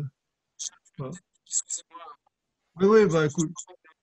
Non, non, mais je, je, je disais, bah, avant de donner la parole à Michel sur le, ce qu'il avait commencé à nous dire la dernière fois et qu'il avait été euh, interrompu par la technique, euh, voilà, donc euh, voilà, c'était pour demander si euh, quelqu'un voulait dire quelque chose. Mais on t'entend très mal, hein, euh, Christian. Voilà, voilà. Christian. Moi, je t'entends pas. Oui, hein. oui. Rien non plus. On dirait que c'est mieux. Oui, c'est très entrecoupé, haché, avec un peu d'écho. On n'entend pas, Christian. Oui, Christian, on n'entend pas. Là, vous m'entendez ou pas? Oui. Oui. donc voilà, donc avant de, passer la, parole à Michel, si euh, Christian euh, on n'entend pas, donc c'est effectivement de, dire que bah, effectivement euh, peut-être que Marx, que Hegel n'est pas Marx, mais en fait il lui a largement ouvert la voie, hein, je pense, et sa critique, bah, ne, serait-ce que son appréhension du, travail en tant que catégorie philosophique a, été déterminante, je pense, euh, chez Marx et chez, bien d'autres. Mais au-delà de ça, je pense qu'il a Hegel est, quand même quelqu'un, enfin, la pensée hegelienne est quelque chose de, décapant, C'est-à-dire que d'emblée, il se veut décapant. Un peu plus tard, là, dans le dans le comment le premier euh, chapitre, le deuxième sous-chapitre euh, de Sanchez Vasquez, là, il est montré en quoi, dès le, jeune Hegel, on va dire, qui est écrit par, par Lukács, montre le caractère, euh, ce qu'il appelle positif, c'est-à-dire et la critique de la positivité euh, comme objectivité morte, c'est-à-dire que il, comment, il, il a, euh, Hegel a, une, une, allergie totale à l'abstraction, c'est-à-dire que tout ce qui n'est pas tout ce qui est imputé finalement de l'extérieur euh, ou comment euh, lui, paraît quelque chose effectivement euh, qu'il énonce comme positif, c'est-à-dire une objectivité morte qui est portée de l'extérieur alors qu'on n'a pas compris l'autodéveloppement du de ce qui y a amené. Quoi, Donc ça, je, pense que là, il est extrêmement, extrêmement, contrairement à, sans doute à, Kant et Schelling et Fichte, et, je pas bien, mais euh, tous ces gens-là euh, euh, n'avaient pas, je crois, cette, dimension de, de vouloir effectivement décaper, d'aller jusqu'au manière radicale pour, pour répondre à la question voilà, qu'est-ce que le réel Donc je pense que là, on peut pas. Je pense que Bon, à savoir s'il y aurait eu un Marx, euh, s'il n'y avait pas eu d'Hegel, je ne sais pas, si c'est vraiment une question intéressante, mais euh, le truc, je, pense honnêtement que, au, vu de, ce qu'on lit, de ce qu'on sait, etc., euh, je pense qu'il lui a largement ouvert le chemin. Alors, je ne sais pas, par contre, si Marx a tout repris finalement de Hegel. Ça sera une autre question. Donc, et voilà, donc euh, voilà. Mais écoute, on va laisser la parole peut-être à Michel, à moins que Christian n'est plus parmi nous. Antoine, il a disparu, il est là. S'il réapparaît, on, lui donnera la parole. Non, moi, je, peux dire deux, mots là, parce que euh, je, voudrais donner mon avis par rapport à ce qu'Antoine a, dit avant. Euh, d'une part, enfin, je crois que il faut se garder de jugements euh, à la fois trop rapides et trop entiers. En ce qui concerne Kant, euh, je suis d'accord pour euh, dire que Kant est quelque part une sorte d'emblème philosophique de la bourgeoisie naissante, ou en tout cas en voie de triompher, ou triomphante si on veut, de la fin du XVIIIe siècle. Et euh, la raison principale en est que euh, en est la, la, théorie du sujet chez Kant. Pour moi, hein, c'est mon avis, euh, qui est construite comme une pensée qui donne à la subjectivité finalement la toute-puissance de la raison. En passant à côté, pas complètement, mais largement, des phénomènes sociaux et de ce que, et singulièrement de ce que on appellera plus tard la lutte des classes. Donc, euh, on a chez Kant finalement, on peut lire en tout cas Kant comme une philosophie de l'individu tout puissant. Voilà, c'est tout puissant au sens non pas consumériste du terme, ça, ça viendra après, mais au sens moral, euh, voire au sens politique. Mais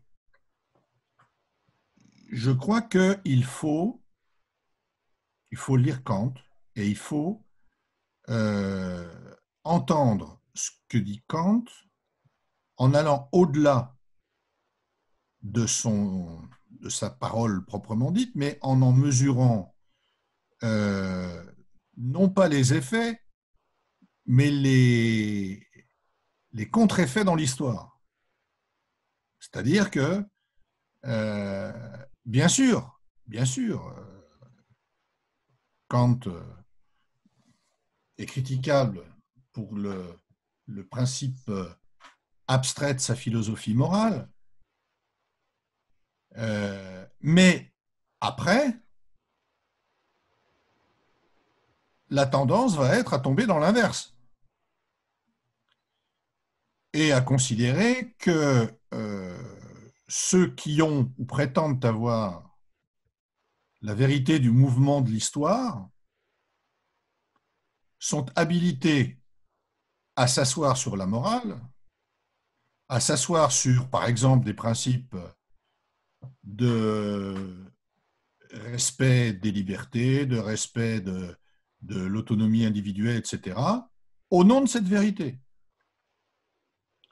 Il y a eu euh, de mauvais critiques marxistes de Kant euh, en philosophie euh, qui ont complètement, complètement évacué la dimension progressiste de Kant. Kant, c'est l'homme, effectivement, qui cherche à, déduire des principes philosophiques euh, aussi de ce qu'il vit, n'est-ce pas? Et ce qu'il vit, c'est la Révolution française, enfin en tout cas à la fin de sa vie. Et en tout cas, euh, euh, on, peut déjà considérer que dès 1784, il est déjà largement à la, sortie de son sommeil euh, dogmatique, comme il le dit lui-même, puisqu'avant, il, y a eu deux philosophies chez Kant. Il y a eu une philosophie dogmatique jusqu'à la fin des années 1770, et puis à partir du début des années 1780, euh, et après une période de silence d'ailleurs, et, de, redigestion complète de sa pensée, c'est un nouveau Kant qui apparaît, le Kant des trois critiques, celui qu'on connaît. Donc, sur Kant, moi j'invite à, la prudence du jugement et à lire bien euh, ce, qui se, dit. Je pense que tout n'est pas complètement idiot à dire que le principe de toute action euh, doit, résider, doit résider dans euh, la recherche d'une universalité d'une universalité qui respecte les autres. Parce que finalement, c'est ce qu'il veut dire. Finalement, c'est ce qu'il veut dire. Hein. Il est, il est, euh, il est un penseur de la, de la, du vivre ensemble, comme on dirait aujourd'hui. C'est pas rien. C'est pas rien. Ensuite, sur Hegel. Alors là, sur Hegel, euh, Antoine, moi, je, ne comprends pas ce que tu dis. Pourquoi? Parce que euh, Hegel n'a rien de révolutionnaire. quand Marx dit, quand Marx qualifie quelque chose de chez Hegel de révolutionnaire, il parle de la dialectique.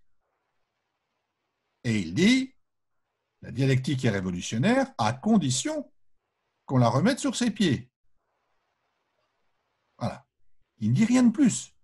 Par contre, lorsqu'il critique Hegel sur sa philosophie politique, il est absolument dévastateur.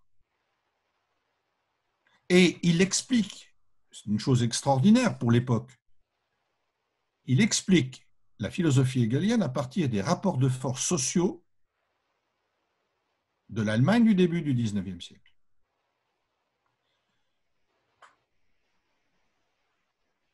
Et cette impossibilité en Allemagne de faire la révolution, ce que les Français ont fait. Marx dit euh, dans les manuscrits de 1944, et mais surtout dans, l'idéologie allemande après, il dit euh, les, Français avaient la pratique, les Allemands avaient l'esprit, avaient l'idée. Et la philosophie de Hegel se termine dans une confirmation absolue du pouvoir prussien qui n'est pas spécialement un pouvoir progressiste, même si dans tous les États d'Europe de l'époque, euh, germent des indices de la montée en puissance de la bourgeoisie et donc émergent dans la pratique même du pouvoir, ici et là, des bribes de fissures de l'ordre féodal ou post-féodal. Et euh, pourquoi je dis absolue, sublimation absolue ou, euh, ou validation absolue de l'État prussien? Parce que euh, chez, chez, pour Hegel, l'État prussien incarne dans le champ du politique ce que son savoir absolu a révélé ou a exposé dans sa philosophie. Le, le, le modèle de Hegel, ça n'est pas la Révolution française. Le modèle de Hegel, c'est Napoléon. Le modèle de Hegel, c'est un empereur. C'est pas la Convention.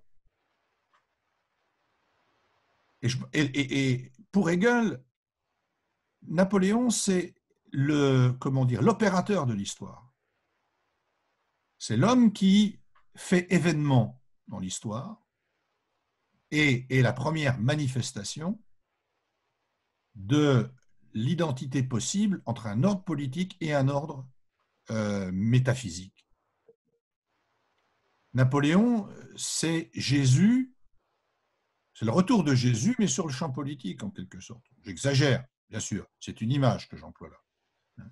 Mais voilà les cadres de la, pensée euh, hegelienne, même si Hegel a été amené à avoir des jugements durs sur Napoléon. Mais il, constate que Napoléon unifie une société, qu'en 20 ans, il a fait faire à la société française un pas de géant dans l'intégration nationale.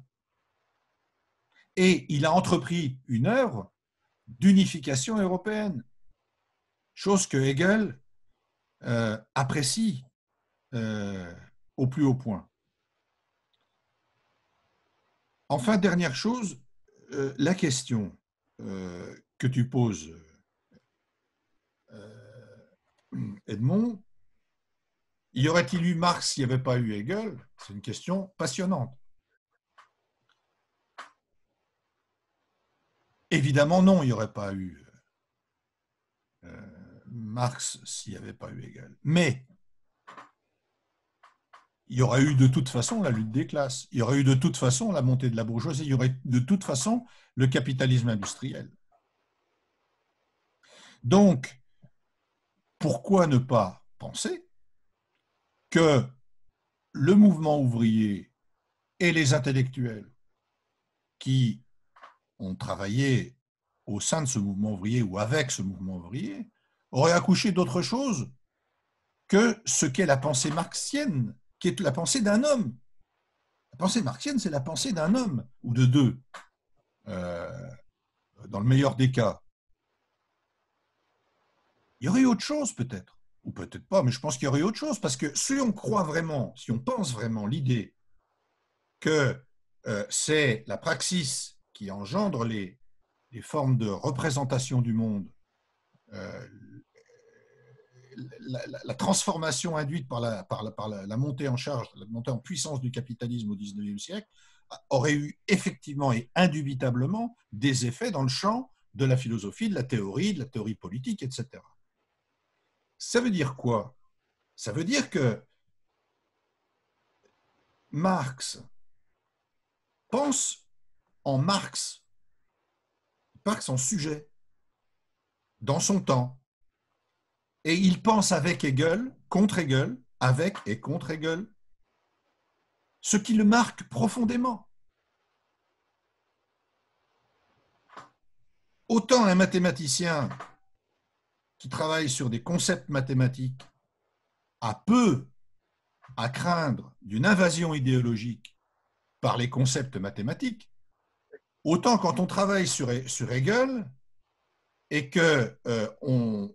Mais ça, je dis ça pour nous tous, hein, euh, et qu'on travaille sur un philosophe, évidemment que on n'en sort pas intact. C'est une expérience. Et donc, pour moi, une des questions qui se posent c'est celle de savoir en quoi Marx est-il l'héritier de Hegel tout en n'étant pas Hegel. C'est-à-dire, qu'est-ce qu'il y a de, de, de, d'expression d'une subjectivation à partir des sources hegeliennes, mais aussi d'autres sources, hein, chez Marx comme chez Hegel d'ailleurs, euh, en quoi cette subjectivation euh, conserve-t-elle les traces de son parcours? Mmh. Et ça, euh, on ne peut pas traiter cette question uniquement par un raisonnement de type, je dirais, positiviste qui considérerait que Marx a posé une fois pour toutes un savoir scientifique sur la table euh, et qu'il suffirait aujourd'hui d'épouser dans, dans, ces termes euh, les plus complets. Tout simplement, Marx est un homme dans l'histoire. Et euh, le, je crois qu'on n'a pas fini d'analyser en quoi Hegel a continué à agir chez Marx, et non seulement chez Marx, mais chez les marxistes.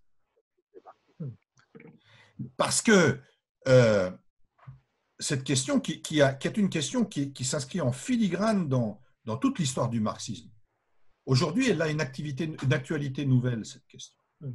Au moment où euh, les, les espoirs mm. euh, se sont éloignés, enfin la réalisation des espoirs, la perspective d'une réalisation des espoirs s'est éloignée au moment où euh, aujourd'hui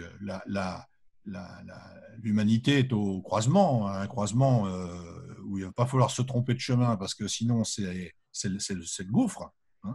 Je crois que cette question-là, du point de vue philosophique, est une question qui prend une nouvelle importance, mais sans aller jusqu'à entrer dans des considérations actuelles. Je, je crois que euh, l'idée que euh, Marx est le fils d'Hegel est au cœur de la pensée stalinienne. Pourquoi Je vais vous dire pourquoi. Tout simplement parce que Staline, c'est-à-dire en fait le, le, le diamant que Staline fonde en 1938 dans son, petit opuscule de 30 pages là, qui s'appelle Matérialisme historique, matérialisme dialectique et matérialisme historique. Le diamant est, une, est beaucoup plus un emprunt à Hegel qu'un emprunt à Marx, mais avec le jargon de Marx et que finalement, quand vous avez lu cette brochure, vous dites deux choses. La première chose, c'est que le savoir absolu, il est là. Or, le savoir absolu n'est pas une idée marxiste, c'est une idée hegelienne. Et deuxièmement, puisque maintenant j'ai le savoir absolu, j'ai le pouvoir absolu. Voilà le, comment, et d'ailleurs c'est Henri Lefebvre qui, le dit de manière très claire, il a parfaitement raison là-dessus. Euh, Staline est un hegelien, ça n'est pas un marxiste. Alors en même temps, inutile de vous dire que dire ça à l'époque où Lefebvre l'a dit, c'est-à-dire dans les années 50, euh, début des années 50, c'est se mettre pas mal de gens à dos. Mais pourtant, il fallait le faire, je crois. Alors, je, juste, je, bon, je ne suis pas d'accord avec toi. heureusement, je dirais heureusement, heureusement. je peux dire quelque chose Alors, juste, je, je, je, je peut-être un petit, après, je te laisserai la parole, euh, Marc. Euh, donc, pour, réagir un peu à ce que tu dis. Euh, bon, il faut voir, on a, on a publié récemment, enfin récemment, quelques années, un auteur, un hegelien bien connu, qui s'appelle Jacques Dont. Oui, rencontré. Euh, qu'on connaît bien, qui est, décédé quelque chose. Alors, donc, euh, bon, euh, alors, il montre quand même que, et c'est Pagani qui me l'a rappelé il y a quelque temps, que finalement, Hegel était payé par le, par le ministère du culte. Quoi. Donc, est-ce qu'il pouvait être libre de sa parole, premièrement deuxièmement, il faut noter que après la mort de Hegel, l'empereur de Prusse a appelé Schelling à Berlin, c'est-à-dire pour remplacer Hegel et pour déshegelianiser, il a fallu appeler, ils ont appelé Schelling. Donc on n'appelle pas, on n'appelle pas le service de dératisation euh, euh, pour rien. Quoi. Je veux dire, bon, alors il y, avait quand même une parole extrêmement subversive euh, de Hegel, même si elle était, elle ne pouvait pas se produire de manière ouverte ou pas complètement ouverte. sinon, on lui aurait dit bah, bon, au revoir, monsieur. Quoi, hein. Et à cette époque-là, il n'y avait pas Internet pour, pour survivre. Et donc, alors, je, pense qu'il euh, faut quand même se, euh, relativiser peut-être un peu là-dessus. Euh, donc, parce que, effectivement, il faudrait quand même voir ce que, ce globalement, qu'est-ce qui, dans le fait que des positions que Hegel a, prises euh, par rapport à l'Empire russe, à l'Empire de Prusse, euh, par rapport, euh, voilà, même dans sa philosophie. Est-ce que c'était si facile que ça de dire que, voilà, bon, de ne pas prêter le flanc à, au, comment, à la critique d'athéisme quand même, parce qu'on est en Allemagne quand même, qui est extrêmement religieux quoi, à l'époque. Euh, voilà, donc il faudrait prendre ça, euh, tout ça en, considération, je crois. Hein. Mais, euh, hein, Hegel, n'est pas, ne, dresse pas une critique de l'athéisme. Mmh, oui, oui, non, je sais bien. Mais en quoi même, si tu veux, est-ce que sa philosophie, même la philosophie, pas seulement la, une, un, comment, voilà, un certificat qui est de euh, enfin, une, euh, un satisfait au, à l'Empire de, de. Au-delà de ça, est-ce que sa propre philosophie, ça je pense qu'on peut en parler après, n'est pas aussi marquée de ce saut-là, c'est-à-dire du saut que, est-ce qu'il n'a pas maquillé finalement un peu une pensée matérialiste, euh, voire plus Est-ce qu'il n'a pas Il y a des éléments quand même très net le matérialisme chez Hegel. On l'a vu la dernière fois à travers, ça, ne serait-ce que là, comment, le fait qu'il est, euh, il est euh, exaucé le, travail, l'activité humaine au rang de catégorie euh, philosophique. Ça, c'est pas pas la moindre des, des, élévations. Euh, et effectivement, dans ce sens-là, moi, il m'apparaît extrêmement matérialiste. Euh, D'un autre, autre, point de vue, effectivement, le fait qu'il subordonne au final tout à euh, l'activité euh, de l'esprit, là, va dans l'autre sens. Je, je, je, je, ne sais pas, hein, juste, c'est des, des, des, propos comme ça. À, à quel, ça m'apparaît bizarre. Quoi. effectivement, cette, cette, euh, cette, euh, cette, opposition, euh, a priori, alors peut-être que je n'en ai pas une, et tu, nous le diras, puisque c'était un peu là-dessus qu'on t'avait interrompu la dernière fois. Mais euh, si tu veux, le, bon, il y a des éléments extrêmement dévastateurs, là, pour le coup, aussi, chez, chez Hegel. Hein, donc, il y a, pour, pour, pour, pas que chez Marx, mais donc, donc qui, qui, sont, qui sont bien là. Et euh, effectivement, l'empereur de Prusse, qui l'avait nommé, euh, enfin le ministère du culte qui l'avait nommé, qui le payait à, ce moment-là, bon. Euh, quel moment? À quel moment? bah, Au moment où il était à Berlin, quoi. Donc il était, il était euh, professeur à l'université à Berlin. Il était, il avait un salaire de professeur quand même. Oui, mais, oui, mais à l'époque. Moi, je sais pas, je connais pas assez la biographie d'Hegel. Jordi Rosenkrantz, j'ai lu ça il y a longtemps. Ouais, ouais, non, c'est tout ça à cette époque-là, c'était très, c'était féodalisme quasiment quoi. Donc ça, apparemment, c'est le ministère du culte qui euh, rémunérait donc. Euh, Hegel. Quoi. Voilà. C'est à prendre en compte. Je ne dis pas que ça explique tout, hein, mais euh, bon, il faut, il faut Bon, euh, voilà, donc concernant le, le, le, bon, ce que tu dis sur. Euh, sur Attends, juste non, par rapport à ce que tu viens de dire, juste 10 secondes. je suis d'accord et je pense l'avoir suffisamment dit jusqu'à présent dans nos contacts. Je suis d'accord pour dire qu'il y a des passages entiers de Hegel qui ont une résonance matérialiste. Oui, oui, tout à fait. Ah, c'est absolument indubitable. Et j'ai encore récemment trouvé un magnifique texte euh, de, l'esthétique de Hegel qui me l'a confirmé. Je ne l'ai pas sous les yeux, je regardais, mais je ne l'ai pas là.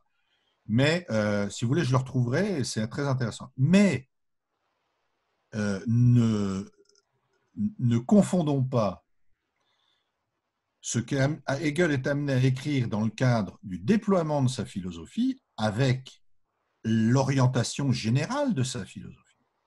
Deux choses différentes. Et, et, je dis ça en plein accord avec Marx.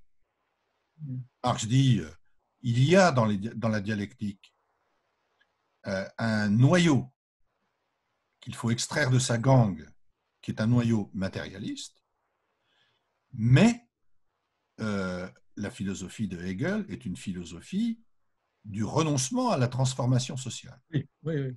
Voilà. de, la réconciliation. ça, on peut se mettre d'accord là-dessus. Oui, non, Après, ah, là -dessus. de Hegel, de nombreux débats. Hein. Moi, j'ai eu euh, une année dans ma vie quelques cours avec un vieux hegelien qui s'appelait Eric Weil, qui avait la réputation d'hegelien, ah à mon avis, est aussi ancien qu'hegelien d'ailleurs, qui, qui, avait là-dessus euh, un point de vue très particulier, euh, qu'il avait d'ailleurs, à mon avis, concocté avec Kojève, parce que j'ai retrouvé récemment des, des, passages de Kojève où c'est expliqué aussi, qui est euh, le point de vue selon lequel la partie progressiste de Hegel provient de l'économie politique anglo-saxonne et des leçons philosophiques qu'il en tire. Bon. et en même temps, sa vision de l'État est empreinte du modèle économico-politique anglo-saxon. Hein, sa théorie de l'État à Hegel. Hmm. Donc euh, voilà, mais euh, tout ça, ce sont après des débats d'exégète. Mais sur le fond, l'orientation générale de la politique de Hegel, alors pouvait-il, euh, avait-il la, la, la, totale liberté de penser? Alors Moi, excusez-moi, mais on ne peut pas renverser l'interprétation d'un auteur, oui, non, Hegel, qui a écrit des milliers de pages qui sont toutes concordantes, hmm. au nom d'une idée, ou alors on le fout à la poubelle. Si on hmm. dit euh, Hegel, c'était un nègre euh, de, du, clergé, hmm. enfin, pas du clergé, de, l'église protestante allemande, euh, je veux bien, mais à ce moment-là, moi je sors mais mon rayon Hegel, je le fous à la poubelle, ça ne m'intéresse plus. moi, ça, ça ne me semble pas c'est, non, ça je peux pas. C'est comme on a accusé euh, Lénine d'avoir été un agent allemand euh, réinjecté en Russie en 1917 pour foutre le bordel. Euh, bon, alors outre le fait que maintenant il est à peu près prouvé que c'était une grosse connerie, hein, on, va même jusqu'à expliquer que les Allemands lui ont payé le train pour rentrer en Russie, donc c'est la preuve que c'était un agent allemand. J'ai entendu ça dans une émission historique de télévision. Alors, quand vous entendez ce genre de conneries, euh, vous pouvez prendre les 47 volumes de l'œuvre de Lénine, les foutre à la poubelle. Qu'est-ce que vous avez gagné à tout ça? Rien. oui, non, non, non, mais disons que bon, il faut, il faut, euh, bon, faut, faut, remettre un peu dans, le contexte. Mais, effectivement, bon, on peut, peut penser. De toute façon, on est là pour en discuter. Euh, l'idée, alors, ensuite, bon, tu parlais de, de, finalement de, de l'ancrage totalement hegelien de, Staline. Alors, moi, je, bon, il faut, distinguer d'abord euh, le Staline politique et le Staline euh, philosophe. Pour moi, euh, Staline n'est pas un philosophe, c'est avant tout un politique. Bon, il, il s'est commis un peu à la philosophie, mais enfin, on ne peut pas dire que. Non, non, attends, attends, attends. Moi, moi je, je, je n'irai pas jusqu'à mettre Staline sur le même niveau que Hegel, si c'est ce que tu veux dire? Nous sommes d'accord. Oui, oui. non, non, non, enfin, attends. Alors moi, je, je, je, alors, regarde le drame, le drame. Moi, je dis le drame de la philosophie soviétique entre 1938 et 1953-54. Hein, quelques, ça commence à bouger un peu avant, qui est que 30 feuillets écrits par un type qui n'est pas philosophe Mais à la limite, qu'est-ce que c'est être philosophe? Un type qui philosophe Pour moi, hmm. ce n'est pas un métier philosophe. On est philosophe quand on se donne la peine de philosopher, c'est-à-dire de penser. Voilà. Donc, ce n'est pas à toutes les heures de la journée et ça n'a rien à voir avec le bulletin de salaire à la fin du mois. Ce type, il, s'est donné la, peine de penser. Et il a pensé quoi? Il a pensé un, ouvrage de 30 pages qui efface la présence, efface très largement, pour ne pas dire totalement, la présence de Marx, d'Engels, de toute la tradition marxiste en Union soviétique pendant 15 ans, et qui remplace tout, et qui est donné comme le savoir absolu révolutionnaire. Et ça, c'est un drame, parce que d'abord, il y a des gens qui vont aller en tôle, il y a des gens qui n'écriront plus, qui n'accéderont plus à l'édition, et puis l'université euh, et les écoles, y compris les écoles du parti, etc., sont infestées par l'égalianisme. Et ça, et ça, ça contribue largement à masquer les problèmes. Alors, il y a bien d'autres choses qui, l'ont, qui, ont masqué, hein, mais euh, à masquer les problèmes objectifs de la société russe de son temps. Voilà. Alors, juste, juste, bon, alors juste, je réponds à ça, mais deux, minutes après, je donne la parole à Marc. Hein. Donc, euh, effectivement, donc, bah, de toute manière, moi je pense qu'on. Sans compter, sans compter l'écho que ça a eu en Europe et en France en particulier. Comment il s'appelle ce bouquin de Staline Comment il s'appelle? Comment s'appelle-t-il? euh, Matérialisme dialectique et matérialisme historique. D'accord, oui.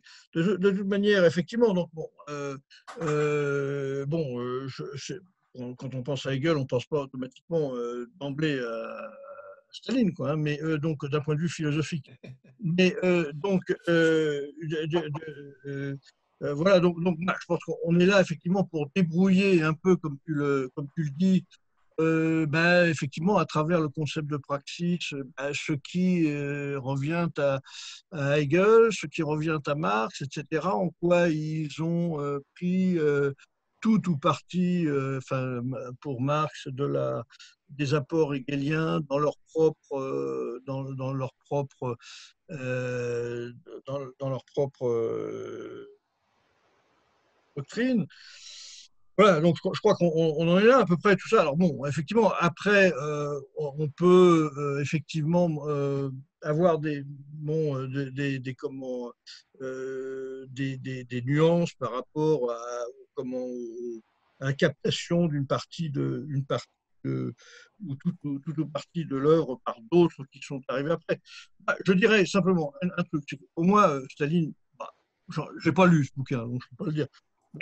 A priori, pour moi, ce n'est pas, un, pas un philosophe, donc je me référerai pas à lui, en tant que philosophe. Bon, alors par contre, euh, je dirais qu'on peut se référer à lui en tant que politicien. À ce moment-là, oui, je crois qu'il est égalien, parce que finalement, euh, quand tu regardes la, si tu prends l'URSS comme un objet, finalement, euh, je crois que d'un certain point de vue, il a respecté la légalité de l'objet. C'est-à-dire que quand il a fallu euh, comment, euh, faire une, la collectivisation des terres pour, après la, guerre civile qui avait fait 10 millions de morts, pour préparer à la prochaine guerre contre le nazisme, il a, il a, il a raisonné. peu importe, 10 millions. Il, a, a raisonné là en égalien quand il a fait la, en égalien, donc face à l'objet qui était finalement l'Union soviétique et qu'il fallait, fallait défendre, quand il a euh, prôné l'industrialisation à marche forcée face au nazisme euh, qui allait pointer son nez en 1933, il a raisonné en hegelien, c'est-à-dire que face à l'objet URSS qu'il avait, il a fait, à mon avis, ce qu'il avait de mieux à faire. Euh, quand le numéro 2, après en 1934, a été assassiné juste après l'avènement d'Hitler au pouvoir en 1933, bon, deux ans après, ils ont fait des, comment, ils ont euh, fait des comment, bon, il y a eu des procès certes critiquables et qui ont dérivé dans des trucs qui sont absolument scandaleux. Néanmoins, il y avait quand même péril dans la demeure, et je pense que là, il a été égalien du fait que eh bien, il a pris en, il a pris en considération euh, le, comment, le danger euh, que représentait l'élection de Hitler en 1933, l'assassinat numéro 2 en 1934 et le fait qu'il y avait une guerre civile qui avait fait 10 millions de morts en, en 1918-1922. Pour tout ça, moi je dirais que Staline, effectivement, politiquement, est hegelien. Euh, maintenant, euh, qu'il le soit euh, philosophiquement, bon, disons que ça m'importe peu. bon, effectivement, c'est quelque chose qui est bon, qui n'a pas de bon. Alors peut-être que ça a laissé quelques séquelles au niveau du, parti dans le sens d'un certain suivisme, certain sur des, trucs, bon, peut-être, mais moi, ça m'apparaît pas d'un point de vue, enfin, je, je, je, je, vois pas là une forme une forme particulièrement euh, euh, significative quoi, à traiter, à part peut-être au niveau historique, peut-être dans les dégâts que ça a pu, ça peut, a pu faire dans les, dans les, les cellules ou les, les sections. Là, je n'y étais pas, alors je ne peux pas le dire. Quoi. Mais euh, néanmoins, pour moi, Hegel, il est effectivement hegelien d'un point de vue politique. Et, à mon avis, il a eu raison, parce que sinon, nous serions tous nazis à l'heure actuelle. ou, dans, des camps ou, carrément euh, voilà. Euh, donc ça, on peut que lui donner raison. Et puis euh, pour le reste, bon, philosophiquement parlant, je pense que il y a quand même bah, Staline n'était pas à la hauteur de, de, de ceux des autres. Quoi. On peut dire Marc ou... deux, petits mots. Enfin, Michel c'est pas rien quand même cette affaire-là. Enfin, moi, je pense pas qu'il faille euh, faire des procès en béatification, en excommunication de Hegel. Ce qui moi, ce qui me semble intéressant, c'est de comprendre un peu d'abord ce, ce qu'il dit. Voilà. C'est, attends, je continue. C'est aussi voir comment Marx, dans quelle mesure Marx a passé toute sa vie à se confronter dans un rapport au père euh, qui n'a rien de psychanalytique, mais, mmh. mais au sens où, euh, où avec toute, la question effectivement de la dialectique et, de la question de savoir, effectivement, parce que dans, le modèle, dans, la logique, dans la logique portée par Hegel, euh, il y a une sorte d'autoralisation. Euh, euh, enfin, il faut, enfin, l'alignement sur l'État, l'État prussien, c'est pas, de mon point de vue, c'est pas simplement, c'est dans un contexte politique, mais ça, ça, aussi sa logique, c'est que c'est quand même cette idée de la constitution d'un d'une architecture, d'une architecture globale qui, qui, se réalise à la fois dans, dans, l'esprit et, et, et, dans la, et dans le réel. Et dans le réel, la clé de voûte, c'est quand même l'État.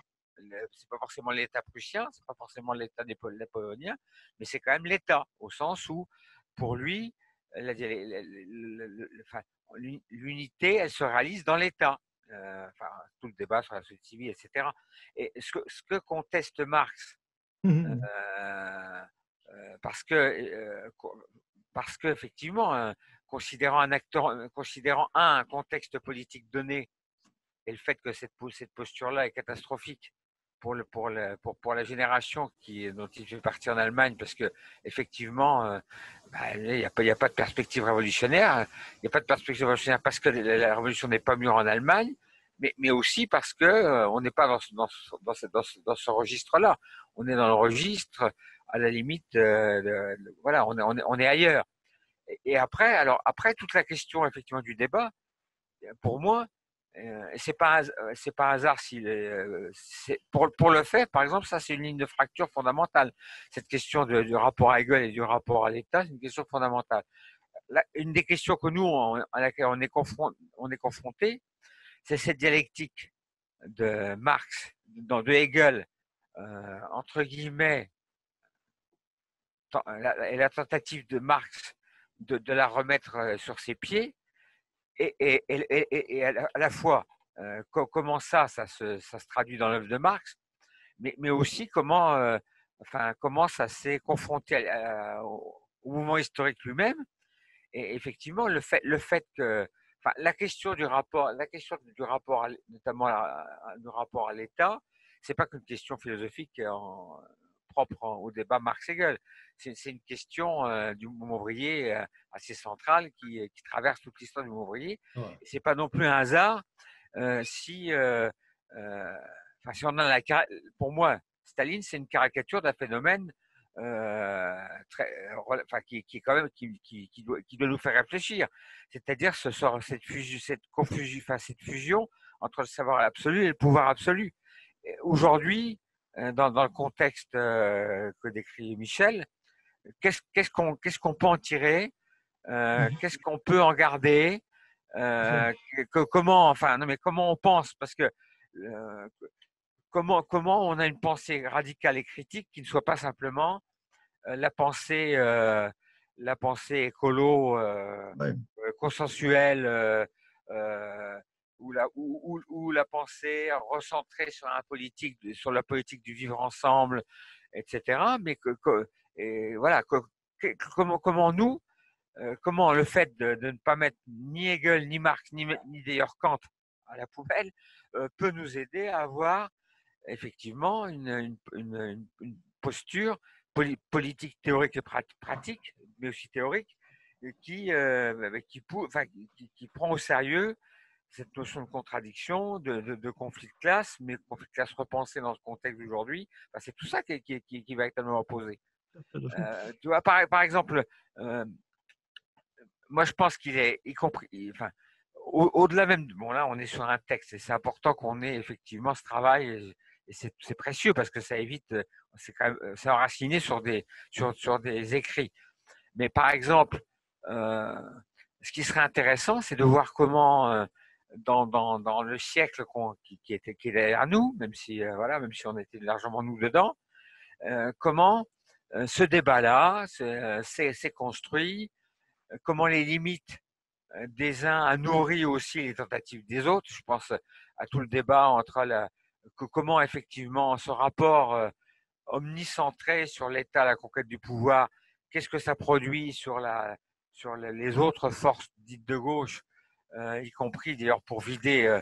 voilà, comment on pense la place, par exemple, aujourd'hui du politique, par exemple, sa relation à la dimension purement sociale. Tout, tout ça, c'est, moi je pense que euh, je pense qu'on a besoin à la ah fois de lire tout ce qu'on lit là, mais on a quand même bien de le resituer par rapport à, l'espèce de, de, de, de, séisme ou de, ou de vide euh, théorico-politique dans lequel, dans, lequel, dans lequel on est, quelque part.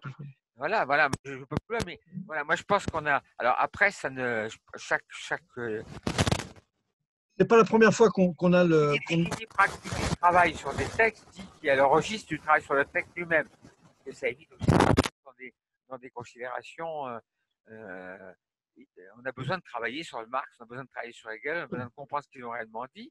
Mais après, on a le resitué en perspective. À mon avis, enfin moi, personnellement, c'est ce qui m'intéresse. Voilà, voilà, hein. Ou alors, ou alors on est, ou alors on, on, est condamné à la ratiocination. Soit avoir, une sorte de discours nostalgique, un discours de, lutte de classe euh, purement euh, post-maoïste ou je ne sais pas quoi, soit on est dans le vivre ensemble et, la, et la, guimauve euh, écolo, enfin, dans, ce que enfin l'écolo social-démocrate dégradé, la Rosan Vallon et autres, enfin voilà. Mais je pense, voilà, je m'arrête là. Moi, je crois qu'on euh, on a déjà eu le, le, le, débat là, sur euh, abolition de l'État ou pas. J'avais même lu un, texte de Kluskar à ce propos-là. Donc, on est bien au cœur en fait, des problématiques qu'on se pose, puisque là, Kluskar, finalement, il, mettait un peu en vis-à-vis euh, dans cette problématique-là euh, Hegel, effectivement, et puis, et puis Marx. Quoi. Donc, on est bien, on est toujours, à mon avis, dans notre, dans notre registre quand on est euh, là-dessus, parce que effectivement, ce sont des, ce sont des problématiques euh, importantes et qui, euh, effectivement, doivent être débattues et, et, et, dépassées dans le, dans le bon sens du terme. effectivement, et alors là, donc, on est euh, on est euh, absolument, euh, absolument dans notre, dans notre créneau. Quoi. Hein. Donc le, le, fait est que, bon, je ne vais pas relire le truc de, de parce que je, je l'avais déjà lu la dernière fois. bon, le, le, fait est que bon, des, des, sociétés avec communistes avec abolition de l'État, il n'y en a jamais eu. Voilà. Pour le moment, il n'y a, a, pas. Donc, on ne peut pas dire que peut pas dire. par ailleurs, euh, on peut quand même, on peut quand même, il y a eu des sociétés donc où il y a eu un État effectivement euh, communiste avec euh, effectivement une, prise en charge tout à fait contrôlée, planifiée, etc. Choses. ceci dit, on peut critiquer, mais néanmoins, l'avenir, le, passé très proche qu'on vient de subir avec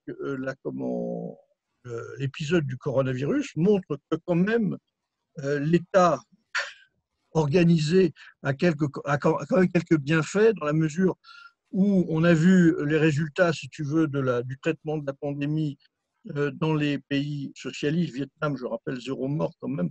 Euh, Cuba, très peu. la Chine, bon, il y en a eu beaucoup, mais enfin, en proportion de la population, quand même assez maîtrisée. Il y a eu aussi la Corée du Sud, bon, pourquoi pas. À, comparer avec les ravages que ça fait dans nos sociétés. Hein. Donc, euh, j'imagine quand même que, si tu veux, là, il, est difficile quand même de, de, nier, si tu veux, les, comment, bienfaits hein, finalement d'un État centralisé et euh, qui soit euh, effectivement au, service de l'intérêt général. Donc, je pense que là-dessus, ça nous donne à réfléchir. D'ailleurs, j'espère que ça, donnera à réfléchir aux gens qui ont vécu cette période-là, parce qu'ils l'ont vécu dans leur chair. S'ils n'ont pas été complètement euh, abasourdis par la, propagande qu'ils ont reçue, mais qui sont allés visiter un peu sur Internet euh, les sites, euh, etc., ils auront bien vu qu'effectivement, dans les pays dits totalitaires, hein, puisque c'est comme ça qu'on les appelle hein, dans la propagande actuelle, il y a eu une résorption euh, quand même euh, beaucoup plus euh, efficiente de, cette pandémie. Donc, bon, voilà. ceci dit, je pense que le, je pense que le, réellement le, en fait la problématique d'abolition ou pas de l'État pourrait également le, on pourrait d'ailleurs le, le l'étendre euh, à l'abolition euh, finalement euh, de l'argent, l'abolition du travail, etc. comme Kluskar le comment le parle dans, la dégâts de la pratique libérale libertaire, enfin, laisse voir quand même une, tendance quand même un peu d'une ce qu'il appelle une anthropologie euh, libertaire, hein, quand même, dans la, dans, dans, dans la pensée euh, marxiste aussi. Quoi. Hein. Donc, mais ceci dit, euh, pour le moment, il n'y a pas eu de société communiste, hein, il n'y a eu que des sociétés socialistes. Et euh, certes, elles ont fait des erreurs. Certes, c'était des premiers, euh, des premiers de cordée, donc euh, ils ont essuyé les plâtres. Certes, tout n'a pas été parfait. Mais est-ce que la bourgeoisie a été parfaite dès son premier, enfin dès sa prise de pouvoir, à, je sais pas où, à Florence ou voilà. est-ce qu'elle a pas, est-ce qu'elle, enfin, elle est jamais parfaite puisque, par définition, mais disons que n'étant pas éthique, elle peut pas être euh, mais donc euh, là, euh, bon, on a effectivement à réfléchir là-dessus, mais je ne crois pas qu'il faille, qu'il faille jeter le bébé avec l'eau du bain. C'est-à-dire que, bon, là, il y, a quand même des, bienfaits notables de l'État, et de l'État, j'entends, centralisé et planifié, et qu'on serait quand même assez assez malvenu, si tu veux, de, de balancer euh, par-dessus bord. Euh, euh, pour, pourquoi pour, Pourquoi? Pour, pour, pour, pour, accéder à quoi, Qu'est-ce qu'il y a de disponible actuellement? Il n'y a rien.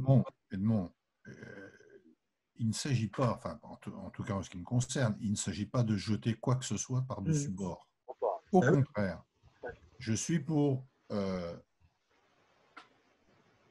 penser les choses contradictoirement et euh, essayer de réévaluer une histoire avec euh, toutes ces contradictions mises sur la table et toutes ces... Ah bah oui, oui. Voilà. Donc, euh, je ne suis pas pour ni un assassinat unilatéral, ni pour mmh, une défense unilatérale. J'essaye de comprendre. Et j'essaye de comprendre parce que, même si à l'âge que j'ai, je ne serai sans doute pas euh, l'avenir politique de ce pays. Je suis un citoyen et que je suis dans une situation donnée qui requiert que l'on essaye de comprendre ce qui s'est passé. Euh, et je suis d'autant plus sensibilisé à la question de comprendre l'histoire de, des expériences socialistes ou qui s'en réclamaient, etc., que euh, je euh, j'en viens. Et quelque part, j'y suis encore. Quelque part, j'y suis encore. Moi, je n'ai pas, je n'ai pas euh, cessé de, prendre ma carte au Parti communiste parce que je n'étais plus communiste. J'ai cessé de prendre ma carte au Parti communiste parce que lui ne l'était plus. Eh oui, c'est une chose, chose, un peu différente, tu vois. en tout cas, c'est ce que je pense. Et, j'ai mis longtemps Moi aussi. à admettre, j'ai mis longtemps à le conscientiser. bon, et puis, j'admets que euh, j'ai encore euh, euh, parfois une certaine considération, une certaine admiration pour ce que peuvent faire des communistes dans ce pays, avec ce qu'ils ont, le peu de camelote qu'ils ont dans, dans, la trousse à outils. Et bon, voilà, on fait, on fait ce qu'on peut dans un contexte extrêmement difficile. La question n'est pas là. Mais je crois que là, on est dans, dans ce qu'on étudie actuellement, on est face, on est, on est devant une question qui est une question philosophique. Hein. on, est, on est vraiment sur le terrain de la philosophie et de son histoire, et on est dans une question centrale qui fait partie de cette réévaluation. C'est-à-dire que euh, de, cet effort pour repenser ce qui s'est passé. Et euh, quand je dis que euh, je vais le dire autrement que tout à l'heure, parce que c'est plus, ce que je vais dire est beaucoup plus vaste que la référence à Staline. Quand je dis qu'il y a dans la tradition marxiste, dans les traditions marxistes, euh, une persistance d'hegelianisme qui pose problème du point de vue philosophique, mais aussi du point de vue politique et du point de vue de l'action, euh, je ne le dis pas en anti-hegelien farouche, je ne le dis pas en, comment dire, en anti-marxiste. J'essaye de poser un problème. Quel est ce problème? Ce problème, il est le suivant. Euh,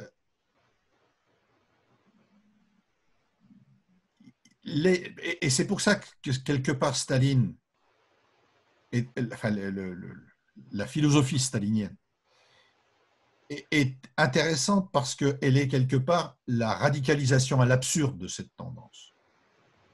il y a quelque part l'idée que euh, Hegel avait raison, que euh, le, le matérialisme, singulièrement le matérialisme dialectique, euh, est quelque part la clé d'un bon qualitatif dans la compréhension du monde et que ce bon qualitatif autorise aujourd'hui à penser la politique comme la mise en, en musique politique dans la société certaines vérités nouvelles. Quand, euh, mais, mais en même temps, tout cela est nourri par euh, une, à la fois une persistance de l'hegelianisme chez Marx, je pourrais m'en expliquer tout à l'heure si vous le souhaitez, et d'autre part, qui, est une persistance au sens, non pas de, de la, de la, de la, du renversement de la dialectique, mais cette fois-ci au sens du mysticisme hegelien. Et d'autre part, par une lecture erronée de Hegel, euh, qui a fait de Hegel le père de Marx. Alors on sait que des fois on n'est pas trop d'accord avec son père, mais l'un dans l'autre quand même on va à son enterrement. Euh, alors que je crois que la, dynamique de Marx, quand il pense, est une dynamique profonde d'émancipation à l'égard de Hegel. Quel est le problème? Le problème, il est le suivant.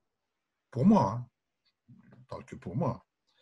Euh, voilà une pensée, la pensée hegelienne, qui nous dit, tout au moins c'est ce que lui font dire les marxistes, tout le rationnel est réel, tout le réel est rationnel. Sauf qu'il ne dit pas ça. Il dit tout le rationnel est effectif, Wirklichkeit, et tout l'effectivité est rationnelle. Wirklichkeit. Wirklichkeit, c'est wirklich, c'est vrai. Ja, wirklich. Quand on dit ça en Allemagne, c'est dire tu as raison. Et ce que veut dire Hegel, c'est que il n'y a de rationnel que ce qui est effectif. Et ce qui est effectif, c'est ce qui est conforme au mouvement de la raison. Avec une pensée comme ça, celui qui a le pouvoir d'arbitrer sur ce qui est conforme au mouvement de la raison a le pouvoir d'accuser les autres d'être des fous, des irrationnels. Et c'est exactement ce que fait Staline. Voilà, il y a la marche triomphante vers le, socialisme, et puis tout ce qui, sort de la, tête du rang, on coupe. Encore qu'Hegel, lui, ne disait pas il faut couper. Il disait il faut l'État, et l'État, il fait la police. L'État, il, introduit un peu de raison dans la société civile. La société civile, c'est le monde, pour Hegel, c'est le monde des, des, ambitions, des rivalités, de la concurrence, de machin, tout le monde s'entre-dévore. Bon. Et il faut des gens intelligents, des philosophes, autant que possible quand même, qui prennent le pouvoir et qui mettent un peu d'ordre là-dedans en leur rappelant quel est le sens de la raison. Pour Hegel, les philosophes, il n'y en a pas beaucoup. Euh, pour Staline, à l'époque, en URSS, il n'y en a pas beaucoup, donc on prend plutôt des policiers. Et on, impose un modèle social qui est celui-là. Bon, après tout, pourquoi pas? 6 millions de morts, on peut considérer que c'est une, c'est une, un oubli fâcheux. Mais le problème, c'est qu'au-delà de ces conséquences désastreuses euh, du point de vue humain, il y a une autre conséquence. C'est qu'on prend, comme le dit quelque part Henri Lefebvre, je crois que c'est dans la Somme et le reste, on prend ses désirs pour des réalités. C'est-à-dire qu'on prend l'image qu'on se fait de la rationalité sociale, historique, pour la vérité et la réalité et que donc, évidemment, tous ceux qui ne partagent pas cette vision, ben, ils sont out. Mais on ne voit pas, on perd de vue, on perd de vue la réalité. La réalité au sens matérialiste, celle que Marx désigne comme l'ensemble des rapports sociaux, avec les contradictions, avec les mouvements profonds dans la société, avec les, les évolutions. Et on finit par avoir une vision du chemin de la construction euh, magnifique vers le socialisme qui soit le bonheur pour tous, qui est une vision complètement décalée par rapport aux aspirations de la société et aux réalités sociales. On perd de vue les contradictions. Alors si en plus on est, comme c'était le cas des socialistes russes, du socialisme russe, euh, soviétique, pardon, euh, immergé dans un monde où on a des choses terribles à supporter, la décolonisation, la guerre froide, le machin de truc, ça n'arrange pas les choses. Hein. Mais euh, il n'empêche que finalement, de quoi meurt le, socialisme réel? Il meurt, à mon avis, fondamentalement d'une perte d'intérêt du peuple soviétique pour le système soviétique.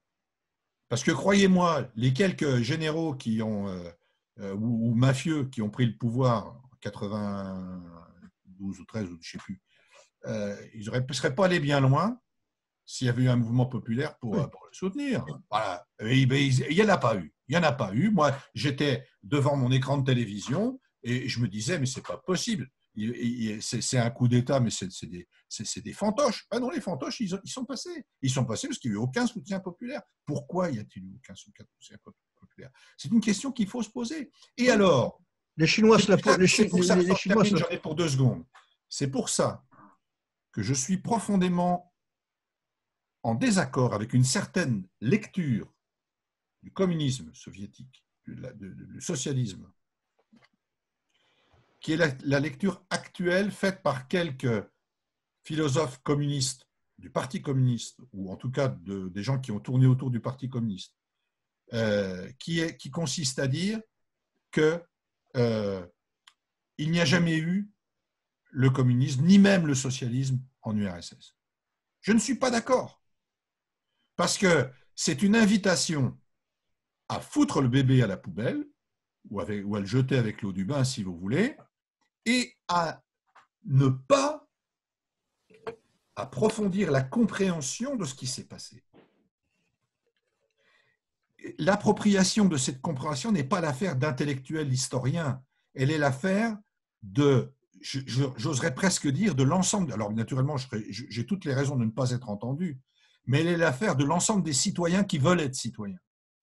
Qu'est-ce qui s'est passé? Pourquoi ça s'est passé? Quelles leçons en tirer? Hein? et, là, et là, tu vas comprendre à la fois ce qu'il y a eu de positif, hein, fût-ce globalement ou pas, et ce qu'il y a eu de, de presque morbide dans cette logique. Hein?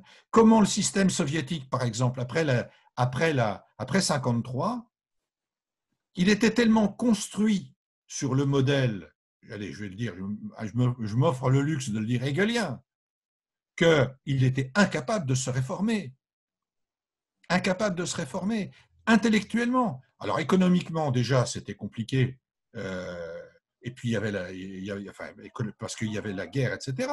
Mais en plus, euh, idéologiquement, c'était c'était pas possible. Et le Parti communiste français a eu les mêmes problèmes, les mêmes problèmes. Et il y a encore aujourd'hui dans le Parti communiste français ou en dehors du Parti communiste français, par exemple, des gens que je connais, que je côtoie, qui euh, en sont restés à, euh, l'idée que soit on a sanctuarisé cette époque et euh, en, gros, les gens n'ont rien compris, ou alors, euh, c'était, on s'est foutu de notre gueule, euh, et tout ça, c'était de la connerie, et ils jettent le bébé avec l'eau du bain, y compris Marx et ce qu'a apporté Marx.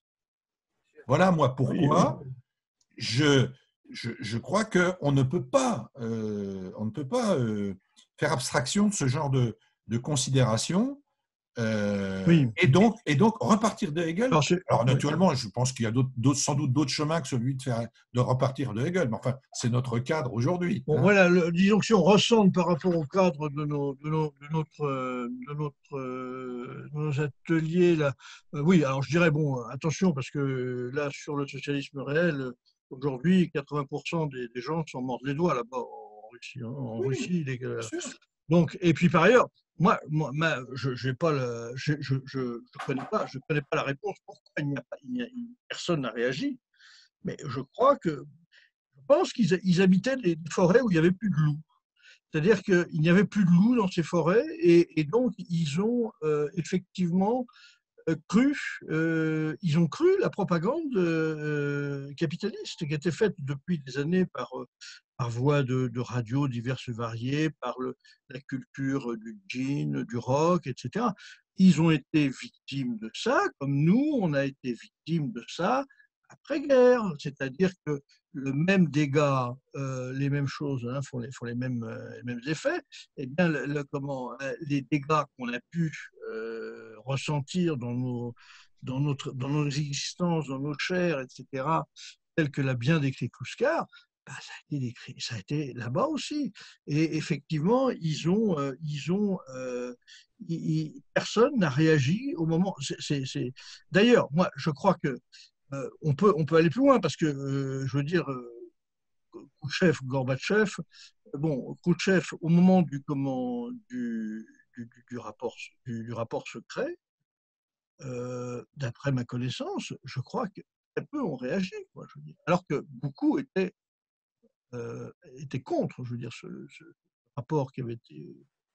J'ai l'impression qu'avec Gorbatchev et sa liquidation euh, de l'Union soviétique, après entérinée par Helsinki euh, et deux autres ivrognes dans une forêt biélorusse, voilà, bon, là, on, était pareil. C'est-à-dire que ce sont des gens qui ne, il n'y avait, plus de loups. Il y avait plus, il y avait plus, donc, ils, ont été pris comme euh, dans les Galapagos, là, les, les, les comment, les, les, comment, les, les, oiseaux qui n'ont jamais connu de prédateur, ben, tu les prends à la main, tu les fous dans ta poche. Et puis, voilà, donc en, gros, ils se sont, euh, effectivement, c'est les ressorts psychologiques, bon, ça c'est autre chose. Le fait est que, ceci étant, 80% des gens aujourd'hui regrettent l'Union soviétique, et pas seulement les vieux, quoi. C'est-à-dire que des gens qui ne l'ont pas connue. Donc, euh, sur, les, sur dires de, de, de, de, leur famille, de leurs amis, etc. Donc euh, là, il faut, euh, là, donc ça, c'est un pan, si tu veux, à, voir. C'est plutôt, ça relève plutôt du niveau historique, voire psychologique. Edmond, 80% des gens regrettent l'Union soviétique. Quel est le score de Poutine aux élections? Est-ce que les gens qui votent Poutine font partie de ces 80% Il fait plus de 20%. Oui, alors, euh, oui mais attends, Et en Allemagne de l'Est? Oui, alors la pensée nationaliste en Allemagne de l'Est. Alors, en Allemagne de l'Est, c'est plus compliqué parce qu'il y a encore une présence. Euh, oui, il y a eu moins longtemps. Il y a, du mal à vivre. le virage nationaliste, euh, c'était pas, je ne crois pas qu'on puisse l'imputer à des nostalgiques du communisme. Ou peut-être, ou peut-être. Euh, euh, il y a une grande confusion, une grande ambiguïté dans tout ça, et que ce ah, qu'ils réclament, c'est un État fort comme celui qu'ils avaient à l'époque. Peut-être, je ne sais pas. Peut-être pour, pour, pour, clore un petit peu cette parenthèse historique, si tu veux, à mon avis. Hein, donc, c'est vrai qu'on peut s'étonner pourquoi ces gens-là ne votent pas euh, KPRF, c'est-à-dire Parti communiste, qui est quand même à 20%. Hein. On, on, comparera avec euh, Robert Hue qui fait à, 95%, euh, puis comment Machine, enfin tous les tous les tous les fossoyeurs du PC donc qu'on a connus ces, ces, dernières années, quoi. Donc les, scores qu'ils ont fait. Donc c'est du 20% avec une énorme fraude, hein, c'est-à-dire que c'est sans doute du 25-30%. Voilà. Alors, les, les gens là-bas, moi aussi je me suis étonné de ça, je me dis pourquoi les mecs votent pas communistes Puisqu'il y a 80% qui, qui regrettent le, socialiste. Parce qu'ils reprochent aux communistes d'avoir liquidé l'Union soviétique. C'est-à-dire qu'ils ne croient pas. C'est un peu comme si toi, on disait, bon, euh, il suffit de voter euh, PCF pour avoir le CNR. Les gens vont dire, vous rigolez, quoi. c'est pas pas nos guignols, nos, nos, communistes en peau de lapin, même si moi-même je suis au PCF. Hein.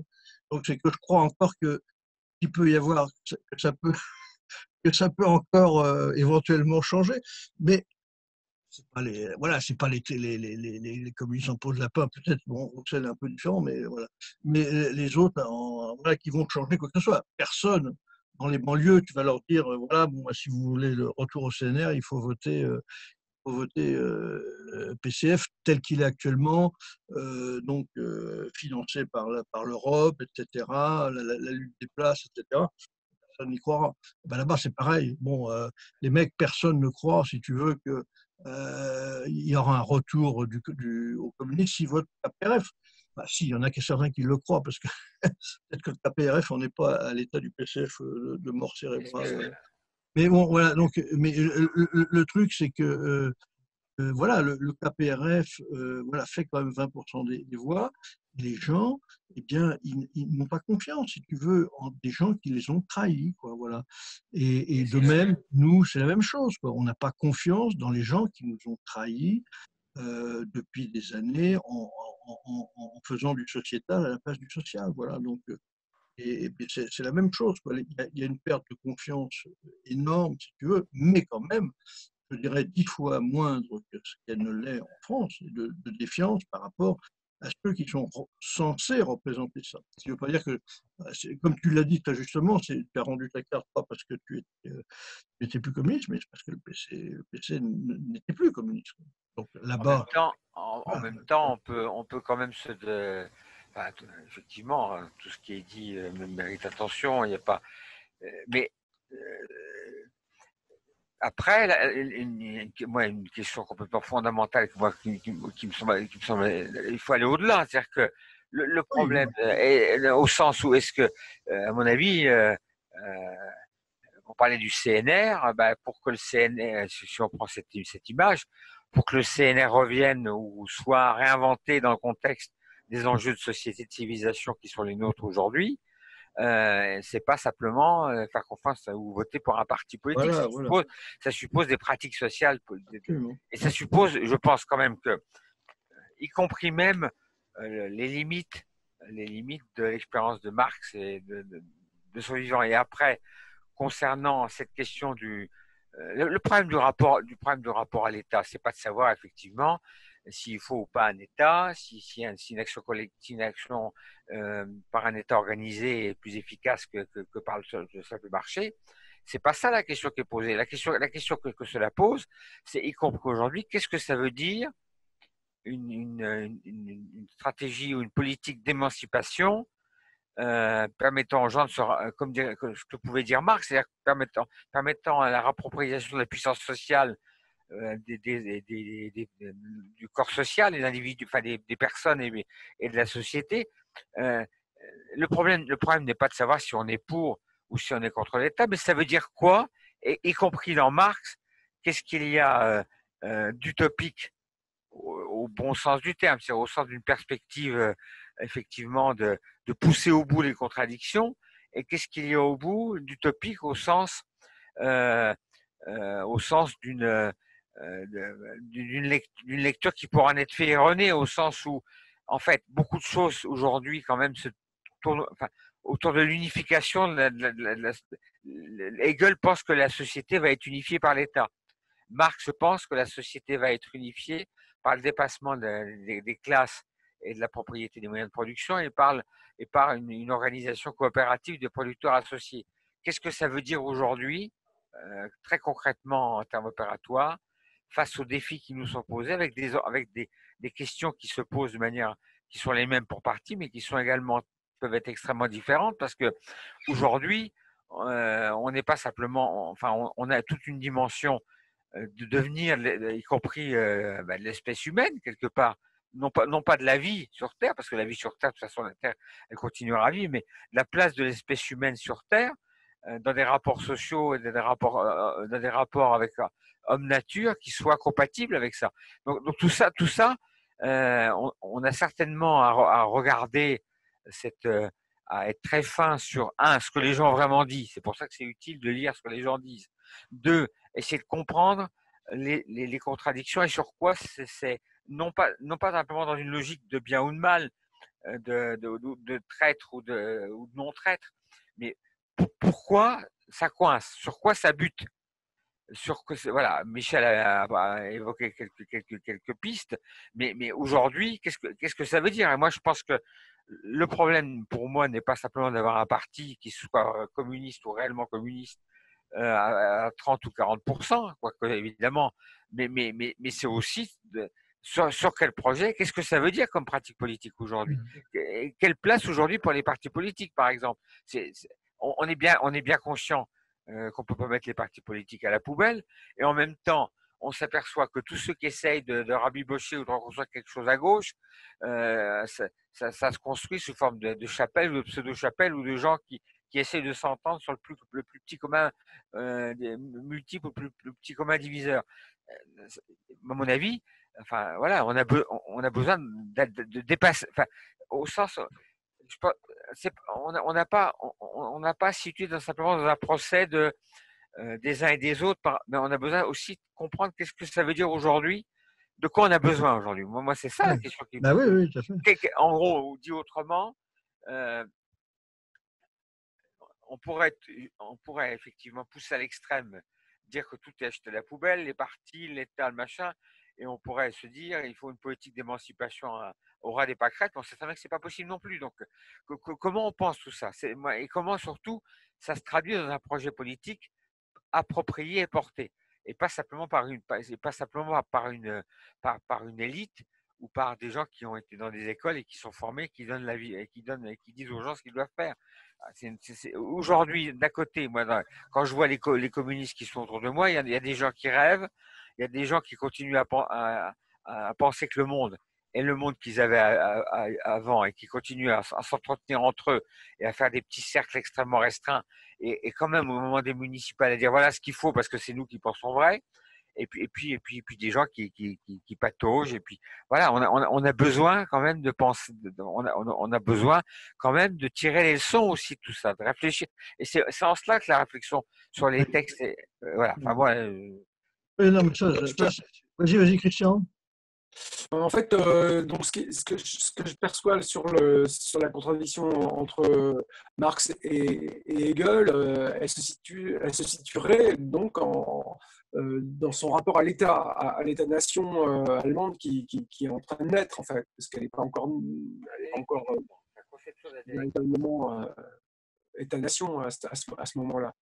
Donc, euh, du coup, euh, moi, ce que, j'ai l'impression pour, le, pour, le, pour, ce qui s'est passé d'ailleurs sur le coronavirus et, précisément cette, cette mainmise euh, des multinationales sur l'État, sur parce que je, je pense qu'on en est plutôt à ce stade géopolitique-là.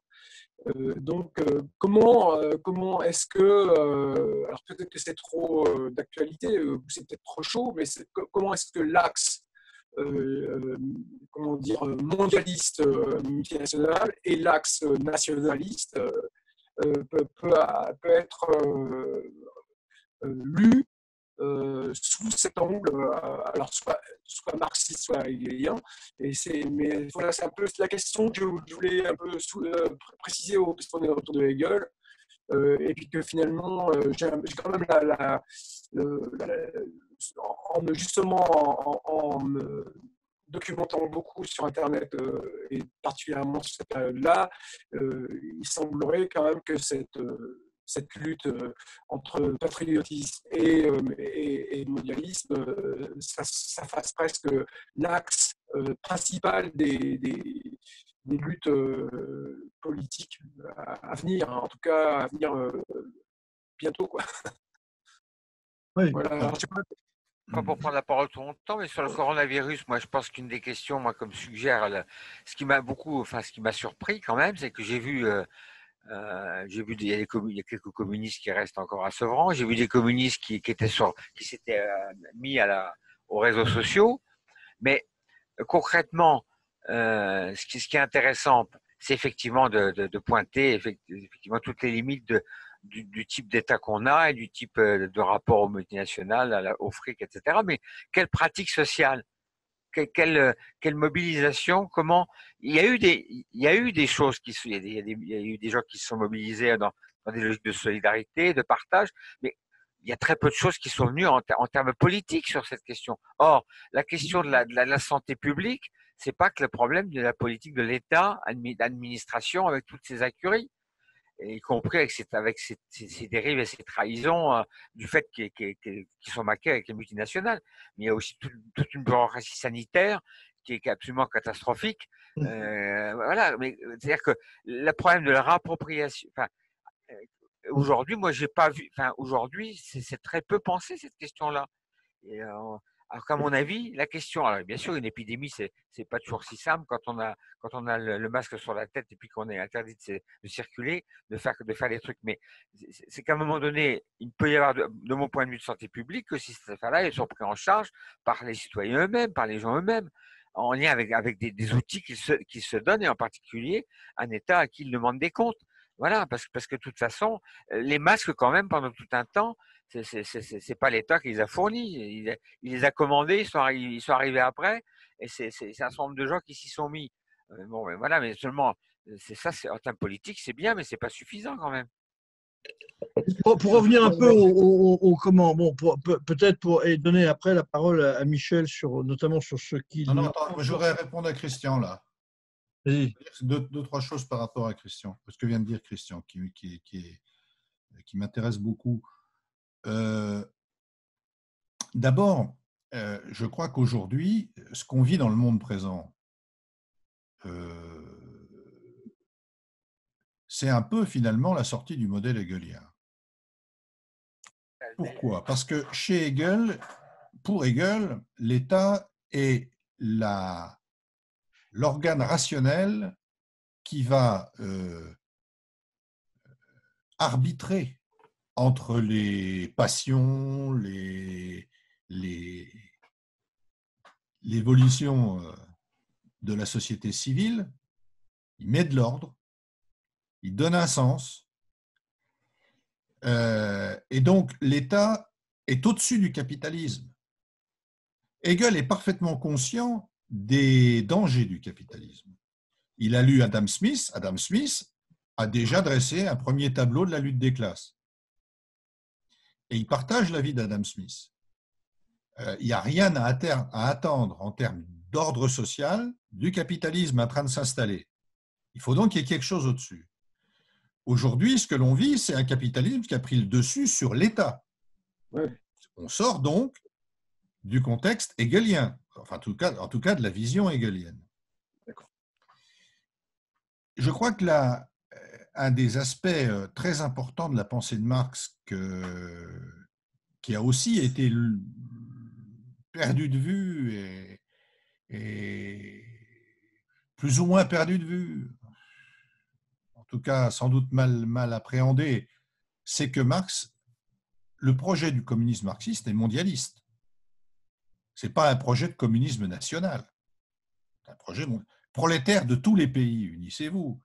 C'est pas, euh, c'est pas prolétaire français, unissez-vous. Alors, bien sûr, euh, il analyse la lutte des classes dans les pays, dans les régions du monde, euh, etc.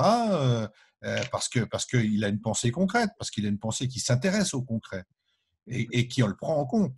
À quel à quel niveau? Il est matérialiste, mais son, sa vision du capitalisme n'est pas un capitalisme du communisme pardon n'est pas le communisme français ou le communisme belge ou je sais pas quoi c'est le communisme mondial euh, aujourd'hui on est dans une conjoncture catastrophique très dangereuse où euh, la seule réponse du capitalisme mondialisé c'est une vague promesse de moralisation. Nous ferons euh, mieux la prochaine fois, comme dit Macron avec les masques. Euh, on va créer des commissions euh, turlututu pour discuter de tout un tas de choses qui sont très importantes, parce qu'on sait que de ces commissions, il ne sortira rien qui remettra le système en cause. Il y a une montée en puissance dans le monde, donc il n'y a rien à attendre du capitalisme. Et compte tenu de l'accélération des dangers qui pèsent sur la planète, pas seulement sur l'humanité, mais sur la planète, hein, euh, le compte à rebours de la fin du clap final est en train d'avancer très vite, et ce compte à rebours, il n'est pas très réjouissant. En tout cas, le produit fini n'est pas très réjouissant une grande quantité de gens dans le monde en ont maintenant conscience, parce que ils le vivent dans leur chair. Mais il ne suffit pas de vivre quelque chose dans ses chairs pour l'avoir, euh, pour la conscientiser. Hein. Mais il y a une montée en puissance d'une conscience des limites du capitalisme, qui s'exprime d'une manière contradictoire, avec des illusions, parfois d'une manière très réaliste, avec aussi des, des, impasses, comme par exemple euh, les alternatives religieuses au capitalisme. Donc c'est très compliqué. Et ceux qui sont les, quelque part, qu'ils le sachent ou non, les héritiers de Marx, euh, sont bien équipés pour comprendre que le nœud du problème, c'est euh, le développement sauvage du capitalisme. Le développement. Euh, et le capitalisme ne peut pas avoir un développement autrement que sauvage. Voilà, il ne peut, il peut pas avoir un non, Non. Mais en même temps, ces gens-là sont incapables d'énoncer une alternative. Ils n'en sont pas capables. Voilà. alors, juste un petit, Aujourd'hui, euh, aujourd'hui, euh, il y, a plein de choses intéressantes qui se disent un peu partout dans des cercles extrêmement savants euh, ou, extrêmement pratiques, etc. Il y a même des contributions. Enfin, moi, je trouve que le, communisme en tant qu'aspiration, il est partout dans la société. Mais il n'y a pas de projet. Il n'y a, rien qui fédère tout ça. Il n'y a, a, rien qui ressemble à ce qu'a été le manifeste du Parti communiste. Mais au-delà du manifeste du Parti communiste, le mouvement ouvrier. Mmh. Le mouvement ouvrier, il n'y a, y a, y a, y a, pas ça.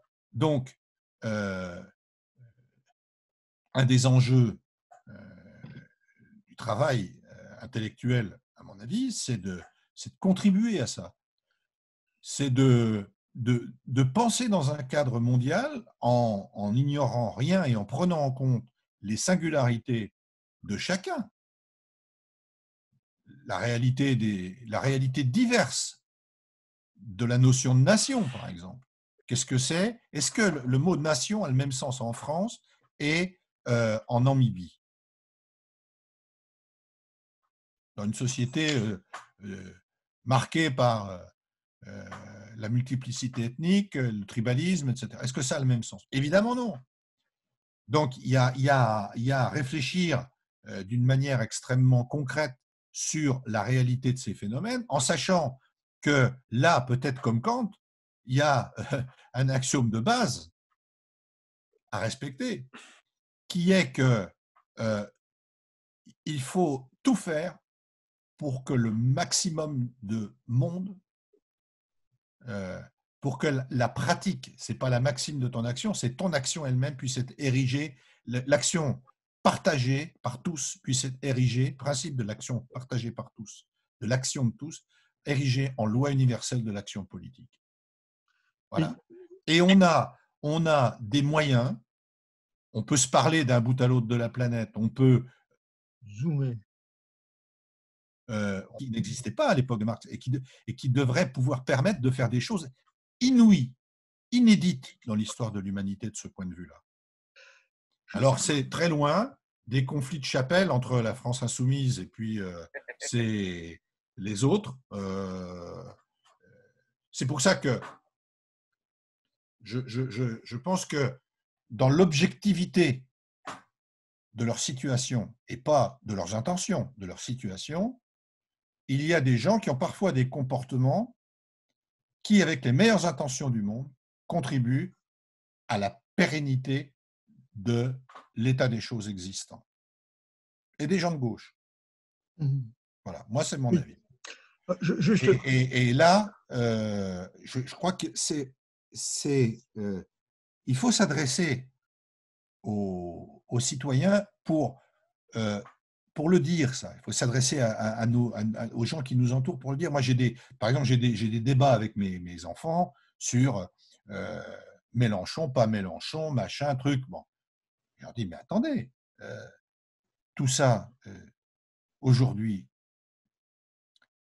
quelqu'un qui dit je suis pur, donc je ne fais pas, pas de magouille il ne fait pas de magouille, d'accord, il ne fait pas de magouille. Résultat, euh, ils perdent partout, ils n'existent que par leur gesticulation télévisuelle, alors qu'ils peuvent dire parfois des choses très intéressantes d'ailleurs.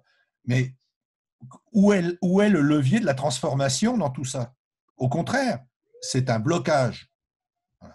Donc, je crois qu'il y, y, a un effort de lucidité à faire par rapport à des démarches comme celle-là, et puis il faut parler avec eux, il faut leur dire, regardez à quoi ça aboutit. Alors après, il n'est pas question de magouiller. La magouille, c'est quand il n'y a pas de transparence. Mais s'il y a de la transparence dans les discussions, dans les échanges, dans les objectifs, si on a un projet qui a été construit avec les gens, il n'y a aucune raison de magouiller derrière. Voilà. La pratique politique, elle doit se repenser, à mon avis, comme ça, localement, dans le cadre national, dans le cadre mondial. Dans le cadre mondial. Je suis pour que aujourd'hui, la gauche, ce qu'on appelle la gauche en France, disons, le, mouvement progressiste mondial pense son futur mondialement, avec des, avec des institutions mondiales. Il y a des questions qui ne se régleront que mondialement. La question de l'eau, la question de l'air, la question de la, nature en général, la question de la lutte contre la faim, la question de, de la santé, tiens, on en a encore un exemple là, la santé. Euh, voilà, ces questions-là, ce sont autant de domaines de propriété universelle propriété humaine universelle. Et celui qui concevra le projet politique qui fait ça, celui ou ceux qui concevront ce projet politique, je pense qu'ils apporteront quelque chose d'énorme dans, le, dans un contexte social aujourd'hui complètement pourri. Mais je, pense que le, un truc, en fait. C'est le communisme. C'est le communisme. C'est pour ça que je dis que je suis communiste. Non, mais je comprends, je comprends ce, que tu, ce que tu dis, mais, mais l'échelle mondiale, donc euh, là, ce qui, ce qui, euh, là, tu, tu, prends un exemple, c'est peut-être trop collé à l'actualité, mais tu prends l'OMS par exemple comme, euh, comme institution qui a, qui, qui, qui, a été quand même actrice à, tous les, dans tous les pays, et, on sait, enfin, je ne sais pas si vous vous êtes renseigné à quel titre ils ont été euh, acteurs, hein, mais, mais, là, on a vraiment un exemple d'une institution mondiale qui, qui, qui, qui, euh, qui est particulièrement néfaste. Là. Euh, je sais pas si. Alors, je, l'OMS, attends, je réponds là-dessus. L'OMS, ça n'est jamais qu'une succursale de l'ONU, c'est-à-dire d'un endroit où euh, le citoyen compte pour euh, pipeau, même si cet endroit a le mérite d'exister et que parfois il a un discours qui est tout à fait soutenable, mais où, sont, où sont les gens là-dedans? Où sont les gens? Juste un, petit truc. C'est bon. L'OMS, euh, c'est encore un domaine de gouvernance. La gouvernance. Oui, oui, mais bien sûr, mais là, particulièrement, si tu veux, c'est pour ça que je, j'essaie de, de, de, de, projeter la question euh, euh, de l'échelle. Alors, tu as, bien, tu as bien dit tout à l'heure, effectivement, euh, une nation, la France ou même l'Allemagne ou, même donc, la Namibie ou je ne sais quel pays, n'ont pas, ne sont pas les mêmes institutions, n'ont pas les mêmes institutions nationales. Donc, on n'est pas dans un. Déjà dans un dans un, monde, dans, dans, un monde avec des institutions euh, intermédiaires euh, homogènes. Donc, euh, bien sûr, tout, cette échelle-là n'est pas déjà homogène. Déjà. Ensuite, donc, moi, ce qui me, ce qui, me choque à gauche, c'est cette, cette, cette, adhésion a priori pour une mondialisation, une, mondialisme euh, qui, est juste réformable, mais c'est un mondialisme. Là, on l'a déjà, donc du coup, on est déjà du coup, alors tu, l'as dit, peut-être qu'il y, a tout ce système euh, des nations euh, comme bah, la nation soviétique ou, la, Chine, qui sont, bah, ils, ont, ils ont failli. Quoi. Donc, c'est, donc, ils ont failli. Donc, on n'a pas, on n'a plus, on n'a plus que l'échelle mondiale pour pouvoir reporter l'utopie quelque part. Quoi. Donc, il n'y a plus que cette échelle-là. pour, un peu, pour un peu, pour un peu, pour un peu pour un peu, disons, euh, voir un peu, bon, pour euh, peut-être un peu recentrer sur le niveau du, philosophique, on va dire. Bien que, je, comprends bien que les deux sont liés, quoi. Mais enfin bon, de toute façon, effectivement, ce que dit euh, comment, comment Michel, voilà, en fait, on assiste au triomphe de, de la société civile avec tous ces, ces aléas tels que. on assiste au triomphe du capitalisme. Oui, c'est pareil. Dans sa, version. de toute façon, il y a eu un débat où on a, on a fait, on, l'a fait passer deux fois, donc Oscar Lefebvre là-dessus. Le, problème, c'est que le capitalisme, il va mourir, et nous avec. Le capitalisme, c'est la fin. Oui, mais là, on a, un exemple. Il est capable de régler ses problèmes, le capitalisme. De, non, mais là, on vient juste de, de vivre une sorte de. L'idée, l'idée, l'idée, si tu veux, c'est que à travers ces ateliers, effectivement, d'essayer de féconder un peu plus au niveau philosophique des contradictions qui apparaissent au niveau politique pour essayer d'en, de les originer, enfin, d'en, débrouiller l'origine peut-être au niveau euh, philosophique à, mon avis, comment, la, contradiction euh, abolition de l'État, Hegel-Marx, euh, ou non-abolition de l'État, sans doute remonte à des contradictions peut-être euh, dérivées qui sont plus, plus en, amont entre les, deux, les, deux positions. Je pense que le, le, comment, le travail de Sanchez Vasquez, c'est salutaire, c'est d'exposer, si tu veux, ce que pensent ces deux-là et puis d'autres euh, sur la question, de voir en quoi effectivement tout euh, ou partie de l'héritage euh, hegelien se retrouve en Marx, qu'est-ce qui éventuellement a été laissé de côté, et en quoi effectivement ce, ces, ces, ces délaissements, enfin c'est, ou ces, ces partis pris, etc., se retrouvent après dans des contradictions plus au niveau politique, type abolition de, l'État, abolition du travail, abolition de l'argent, etc. Mais je pense que je pense que l'idée, si tu veux, effectivement, un peu de ces ateliers, ce serait de d'essayer de, débrouiller et de, de, batailler évidemment sur, la, sur ces questions-là pour voir effectivement qu'est-ce qui, qu'est-ce qui éventuellement pourrait comment être fécond dans, du point de vue de l'analyse. Et je, pense aussi à Klutkar, hein, donc à travers l'analyse qu'on a fait pendant trois ans de Klutkar, qu'est-ce qui, en croisant cela, effectivement, pourrait dégager et puis euh, débrouiller euh, des questions qui sont beaucoup plus en aval au niveau politique. Mais malgré tout, si tu veux, le, fait est qu'il y a énormément de gens qui discutent sur beaucoup de choses et au niveau politique. Et euh, bon, en fait, voilà, donc il y a, y, y, y a, un problème bon, de, de, comment les, l'offre, l'offre, il n'y a, pas d'offre, Voilà, donc euh, on peut être clair. À part les, à part les pays socialistes, qui sont eux, euh, voilà. laissons les pays socialistes de côté pour, pour l'instant. L'idée, si tu veux, à mon avis, hein, c'est à travers ces, ces ateliers, euh, bon, la praxis étudiant, donc c'est, ce concept que les marxistes eux-mêmes qualifient de, central dans le marxisme, de voir effectivement en quoi euh, en quoi euh, les, il n'y a pas euh, des, des, des, conceptualisations qui ont été peut-être un peu laissées de côté, d'autres qui ont été peut-être trop ou pas assez comment, mis, mis, mis, en avant. Je, pense que c'est plutôt à ce niveau-là, si tu veux, que, à mon sens, la lecture de, Sanchez Vasquez euh, et d'autres hein, donc, euh, peut permettre euh, d'y voir un peu plus clair parce que on peut, on, peut prétendre saisir, rendre compte de la vérité et notamment de la vérité sociale. Mais si les prémices sont fausses, quoi, si, si on s'est planté dès le euh, on peut toujours batailler sur les trucs. Bon, je, pense que l'idée, effectivement, c'est travers Kluskar notamment, hein, euh, mais euh, aussi Sanchez Vasquez, Hegel et, tout, et Karel Kozik, etc., c'est de voir si effectivement on part des, on part des, bonnes, des, bonnes, des bons présupposés. C'est-à-dire que, bon, moi je veux bien, effectivement, abolition de l'argent, abolition du, de l'État, abolition du, euh, du travail, etc. Euh, bon, c'est maintenant vu comme un, quelque chose qui, euh, va de soi, un dogme sur lequel qui ne fait plus débat.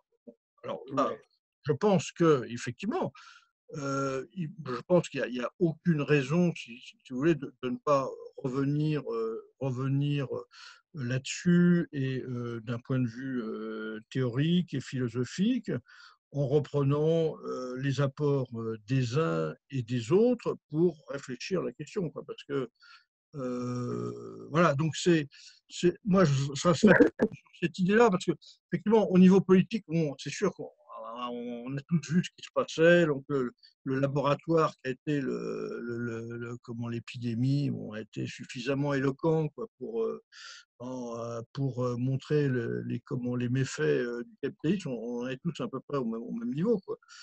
Mais l'idée, c'est effectivement, est-ce qu'on ne peut pas réfléchir justement au, lieu de, comment se, bon, parfois euh, de, batailler sur des abolitions, pas abolitions, etc., voir peut-être au niveau philosophique quels sont euh, les présupposés philosophiques de toutes ces choses-là et en quoi peut-être euh, certaines en prennent, si tu veux, prennent, prennent leur aise par rapport à une certaine, réalité philosophique etc., euh, etc. Donc moi, je, crois que euh, on, peut, effectivement se, discuter au niveau politique, mais euh, si, si les présupposés sont divergents, oui, non, si les, présupposés sont falsifiés, sont faux. C'est ça ce qu'on peut dire. Falsifier, c'est l'information, du coup. Voilà, est-ce qu'on est, est, qu'on est dans, le bon, euh, dans le bon truc quoi?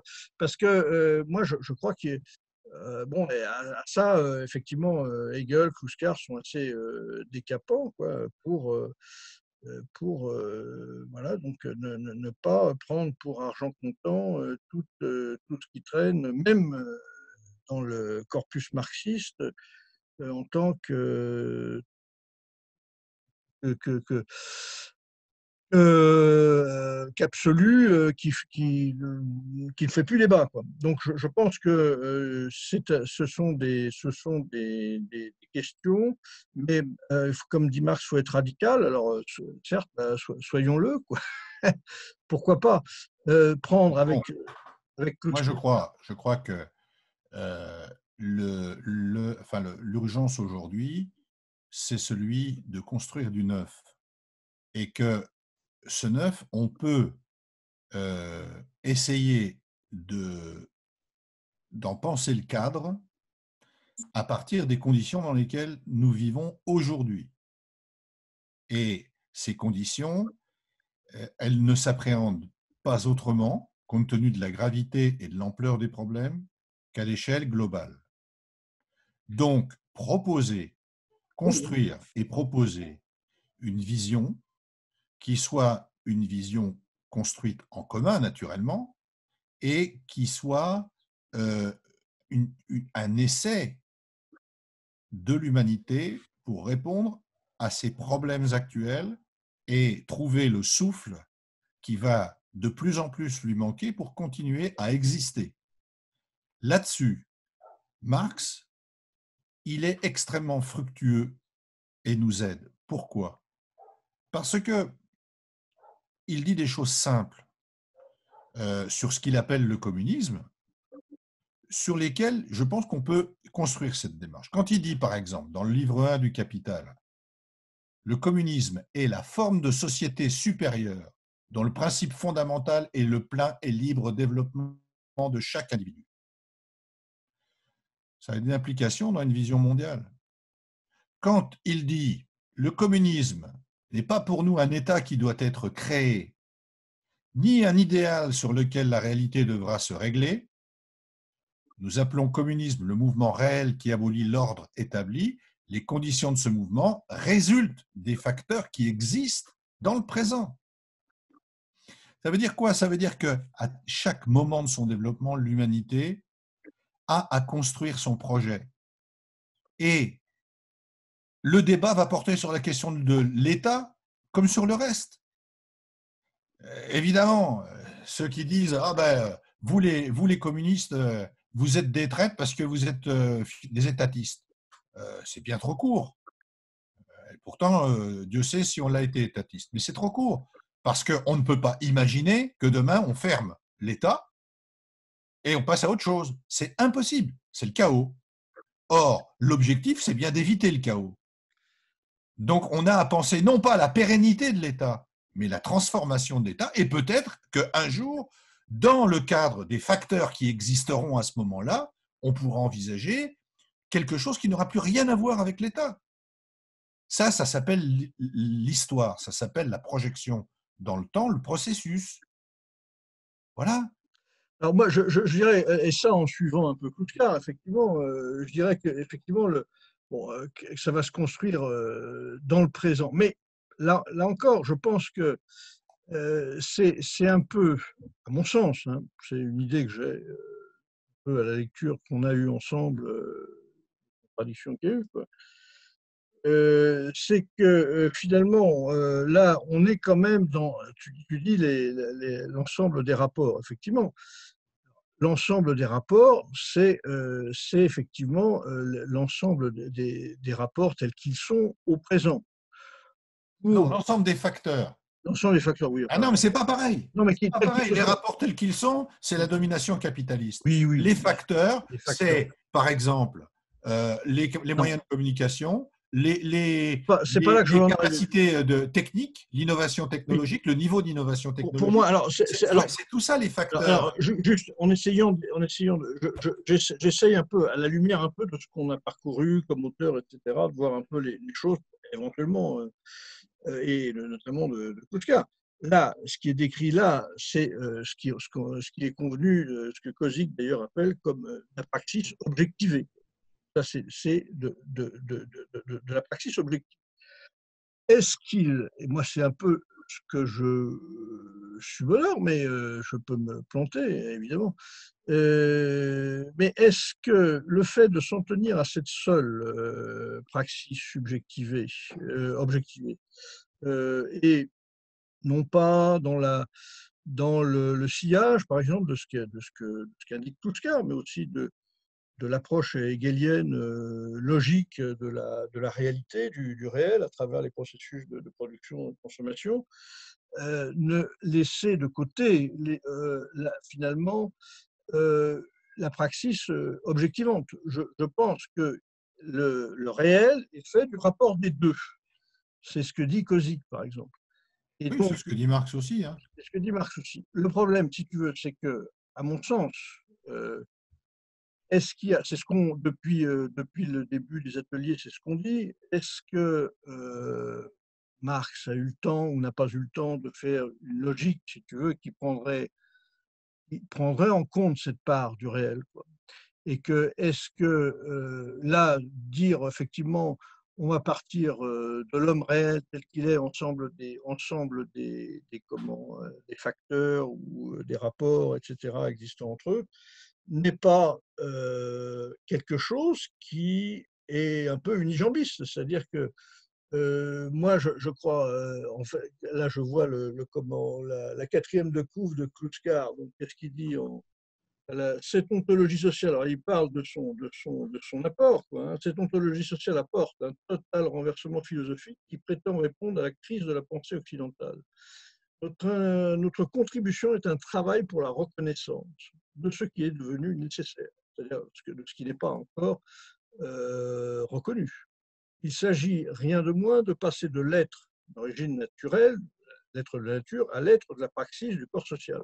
Et c'est un corps social qui ne doit pas être amputé d'une partie de lui-même. C'est-à-dire que le, comment euh, on est à la fois praxis objectivé et praxis objectivement. C'est-à-dire ne dire que oui, il faut partir de l'homme réel et, l'ensemble des rapports à mon avis, c'est euh, ce comment, euh, c'est s'amputer gravement, peut-être, d'une part du réel. Je pense que le réel, il n'est pas seulement la praxis objectivée, et pas seulement l'ensemble de ces rapports, facteurs sédimentés dans l'histoire, il est aussi bah, le, rapport, effectivement, que, je dirais, quasi logique, si tu veux, qu'on a avec le réel. Et comment le, comment euh, finalement, euh, comme dit Koutskar, hein, le, réel comme euh, corollaire de la praxis est la proposition la plus radicale du concept de praxis. C'est-à-dire que si ça, c'est pas, c'est pas intégré, si tu veux, dans notre vision, je me demande si on ne va pas vers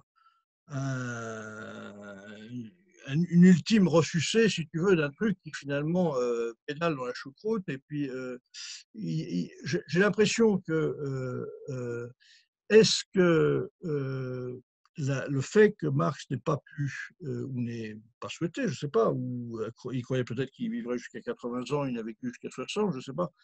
Mais en tout cas, le fait est qu'il, ou alors il a cru effectivement que bon, il y avait une urgence, effectivement, les conditions de vie des, travailleurs, etc. Et donc, encore une fois, il, y a une totale différence à avoir au niveau de, de Marx par rapport au politique, par rapport à l'économique, etc., à sa vision des choses à, ces deux niveaux. Est-ce qu'au niveau philosophique, est-ce qu'il n'a est n'y a pas eu euh, un manque de temps ou je ne sais, euh, qui fait qu'une euh, partie finalement de l'héritage hegelien a été bah, un peu laissé en friche. Quoi. Et donc, Kruskar, à mon sens, hein, c'est un peu l'idée que j'ai, moi, euh, permet effectivement, comme il le dit, d'être un peu le maillon entre Hegel et Marx. C'est-à-dire qu'il y a quelque chose qui, qui ne serait pas pris, euh, ne serait pas développé dans le, dans, dans la théorie et qui fasse que nous n'avons pas les, les comment, le, le, corpus suffisant pour prendre en compte les, les, transitions qu'il y aurait à faire aujourd'hui. C'est-à-dire que. voilà. Je voulais juste bah, du coup euh, rebondir sur la question des facteurs, parce que du coup ça correspond tout à fait à ce que, ce que j'ai pu visiter euh, chez Simonon, puisque justement euh, les facteurs sont élevés à, comme, comme, comme euh, des moteurs beaucoup plus puissants, euh, puisque c'est toute la partie des artefacts, des outils et, de, la technique, mais la technique pas au sens euh, technicienne. Quoi. Du coup, c'est aussi au niveau des inventions même théoriques. Et, en fait, la philosophie en fait partie. Quoi. Euh, cette partie, ces facteurs-là, c'est pour ça que justement j'ai voulu mettre, remettre euh, cet axe euh, de cette contradiction mondialisation, patriotisme national, nationaux, ces facteurs-là, tels qu'ils tels apparaissent à chaud, ils sont, ils sont soumis à une question technologique de l'information. Là, on est particulièrement euh, sous cette, euh, cette, actualité de la technique. Et, euh, il est sans doute certain que, comme chacun se nourrit sur Internet de façon individuelle, que chacun a des sources différentes et croise ces convictions déjà à ce niveau-là les croise et, les, et son corpus de, de certitude du réel euh, euh, de façon différente. Quoi. Donc, euh, là, on est, après cette, homogénéisation de, l'information.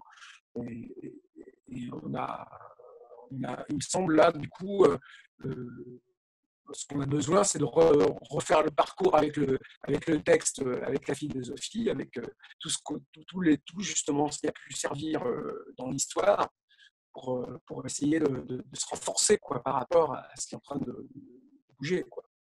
Mmh.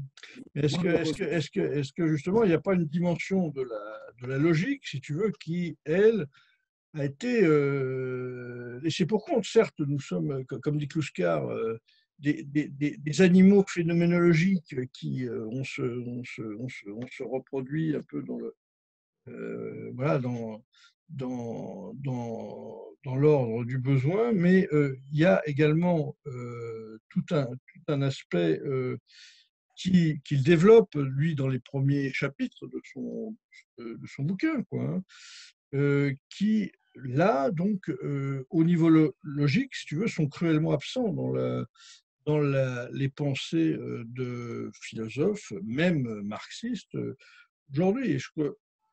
Non. Oui, oui, oui. L'orthogenèse, là, c'est pour te reprendre euh, là-dessus, c'est typiquement, c'est pour ça a voulu faire quelque chose autour de, de, de Simondon, c'est que l'ontogénèse chez Simondon, et vous allez voir à quel point c'est fondamental, puisqu'il va, il va pouvoir, lui, remonter jusqu'à la, physique, la physique dure, euh, il va pouvoir remonter jusqu'à jusqu'à la biologie dure. Euh, il y a des concepts qui, sont euh, tout à fait opérationnels quoi, en termes de, savoir. Mais si tu permets, alors je n'ai pas, pour, à ma décharge et en préalable, je dois dire que j'ai lu Simondon il y a 30 ans. Hein. Donc, c'est, puis je ne l'ai pas lu depuis, donc, mais je vais le relire parce que j'en ai, ai un souvenir vraiment intéressé, même plus que ça. à, cette époque-là, il y a deux livres qui m'avaient profondément intéressé. C'était Gilles Gaston Granger, dans son bouquin sur l'essai d'une philosophie du style, et Simondon. Voilà. Mmh et Simondon m'avait intéressé parce que je, je, retrouvais beaucoup de, comment dire, de matière matérialiste, euh, absolument pas hegelienne, absolument pas hegelienne.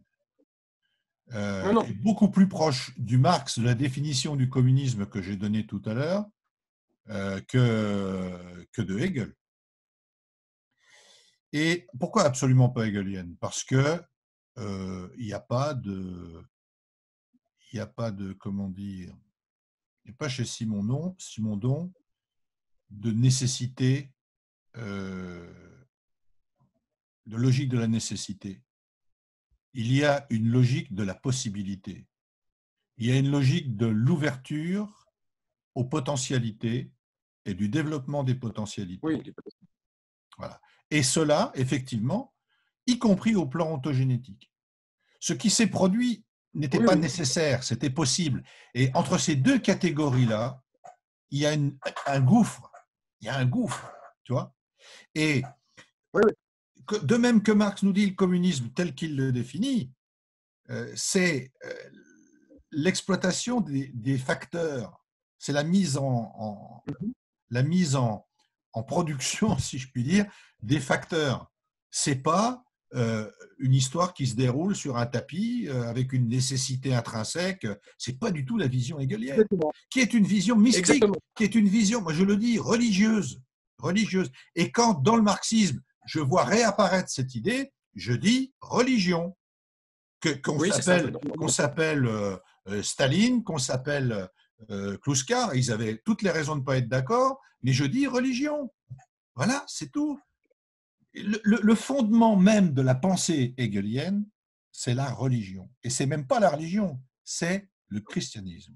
C'est-à-dire cette idée que, euh, à partir du moment où le Fils de Dieu est venu sur terre pour euh, prouver à l'homme qu'il existait, en lui délivrant son message et en lui donnant les clés de la compréhension du monde, eh bien, nous sommes dans, dans la marche de l'esprit, déploiement de l'idée, et euh, je, je, suis à la limite, on n'a plus rien à faire. on n'a plus rien à faire. Mais on, ça conduit à quoi? À l'état absolu. en plus, je, suis, je suis d'accord avec toi. Je suis d'accord avec toi, mais ce n'est pas la vision euh, qu'a euh, Kluskar, euh, disons, de la, de la, Nécessité sans finalité, dit Kluskar. Kluskar n'arrête pas de répéter tout le rationnel est réel, tout le réel est rationnel. Ce en quoi d'ailleurs il ne donne pas la version exacte de la traduction. Devient, il dit oui, devient. Bon. Devient. Oui, des fois il dit devient, c'est vrai. Devient. Oui, mais il dirait devient aussi. Hein. Je peux dire quelques mots parce que. Euh, vas-y, Marc. Je vais être obligé de vous laisser là, mais. Oh. Ah oui, en fait, on, arrive. Le, le, la, la, non, mais c'est pas grave. Mais en effet, on a, c'est pas grave, mais. Euh, non, non, non, mais simplement ce que je voulais dire en, écho avec. Antoine doit dormir parce que là, je. On il est parti dormir, oui. il est payé. C'est la couleur de sa couverture. Ah non, il est là. Il est là. Il se réveille. En, écho à ce que disait. Il dormait, il dormait. Il dormait. Hein, en, écho avec ce que. Puis là, après, je vous laisse, mais en écho avec ce, que, ce qui ne nous empêche pas de continuer, évidemment. Mais, en, écho avec, en écho avec ce que disait Michel, cette pensée de la, de la nécessité, cette, cette logique, cette, cette, vision euh, très, en fait, mécanique et, euh, et, finaliste et, et, mystique, effectivement, elle, elle, a aussi un immense, un immense inconvénient euh, bah, c'est d'évacuer ce que, ce que Lefebvre, enfin, et puis pas seulement Lefebvre, mais pouvait, pouvait, pouvait évoquer comme étant, le, comme étant le tragique, au sens où il y a des contradictions, on le sait très bien, la mort, elle existe toujours, malheureusement, euh, contrairement à ce que dit le christianisme. Euh, bah, bah, enfin, en tout cas, contrairement à ce que dit le christianisme. Et puis, il y a, des, il y a, penser en termes de possibles, ça veut dire aussi qu'il y a des, des possibles qui, par définition, ne se réalisent pas c'est-à-dire qu'il y a des potentialités, mais que, mmh. mais que voilà, c'est-à-dire que ça, ça, c'est beaucoup moins euh, triomphal et beaucoup moins glorieux, mais, mais ça permet aussi de prendre, c'est beaucoup plus en phase peut-être avec euh, la question, euh, la question telle qu'on la voit aujourd'hui, la question de la menace, la question du risque, la question de la, y compris que dans cette vision, l'humanité, elle est flamboyante, elle, elle, euh, elle, elle, va, elle peut continuer. Enfin, il n'y a, aucun doute sur le fait que la technique, la science euh, et l'esprit vont, de toute façon, si, si, on est dans une, dans une rédemption qui a déjà eu lieu, il n'y a plus de, il y a plus de problème, il y a plus de problème. C'est-à-dire qu'à la limite, les petits écarts, les millions de morts, ça, c'est, ce sera, c'est des petits aléas de l'histoire, mais de toute façon, globalement, on sera sauvé. Or, or, non. Enfin, c'est, dans le monde tel qu'il est aujourd'hui, une pensée du possible me semble quand même beaucoup plus pertinente, y compris, enfin, je veux dire, c'est pas non plus, et ça, ça permettrait, alors sans, sans, être un fan, mais des auteurs comme Benjamin et autres qui, qui, qui pointaient enfin, pour qui, enfin, il y a des visions, y compris non, non, non, pouvant être mystiques, qui ne sont pas par ailleurs chrétiennes, montrent aussi que la, bah, que le, qu'on est, qu'il y a pas que, l'histoire n'est pas forcément l'histoire peut être peut peut-être être beaucoup plus quelquefois de rupture que que la que les que les, que les rails euh, du progrès tracés jusqu'à l'horizon. Parce que euh, aujourd'hui euh, peut-être que et justement peut-être que des gens comme Simondon parce que ils sont pas de cette culture là peuvent nous aider aussi à c'est confortable aussi de penser qu'on a, qu'on a, qu'on a, qu'on a la vérité et deux, qu'on a l'avenir devant nous. Bah, le problème, c'est que s'il n'y a plus d'avenir, on, on, on, l'aura, enfin, il sera, sera plus derrière nous, il sera, sera nulle part. Donc, à un moment donné, je crois qu'on a, alors, il s'agit pas non plus, de, enfin, il, faut, on, on, ne quitte pas le terrain du, rationalisme, du, matérialisme, ni de l'apport de Marx, mais euh, on, on, a quand même à regarder peut-être à être, euh, à être attentif euh, au fait que la fragilité du monde aussi quelque part, à la fragilité des êtres. Tout ça, ça, euh, ça aide peut-être à nous vacciner contre certaines. Euh, parce que effectivement, si, si on pense, enfin, sans, sans, boucler sur Staline, mais si par rapport aux soviétiques, d'abord, les qu'ils ont fait, à mon avis, pour largement ce qu'ils ont pu.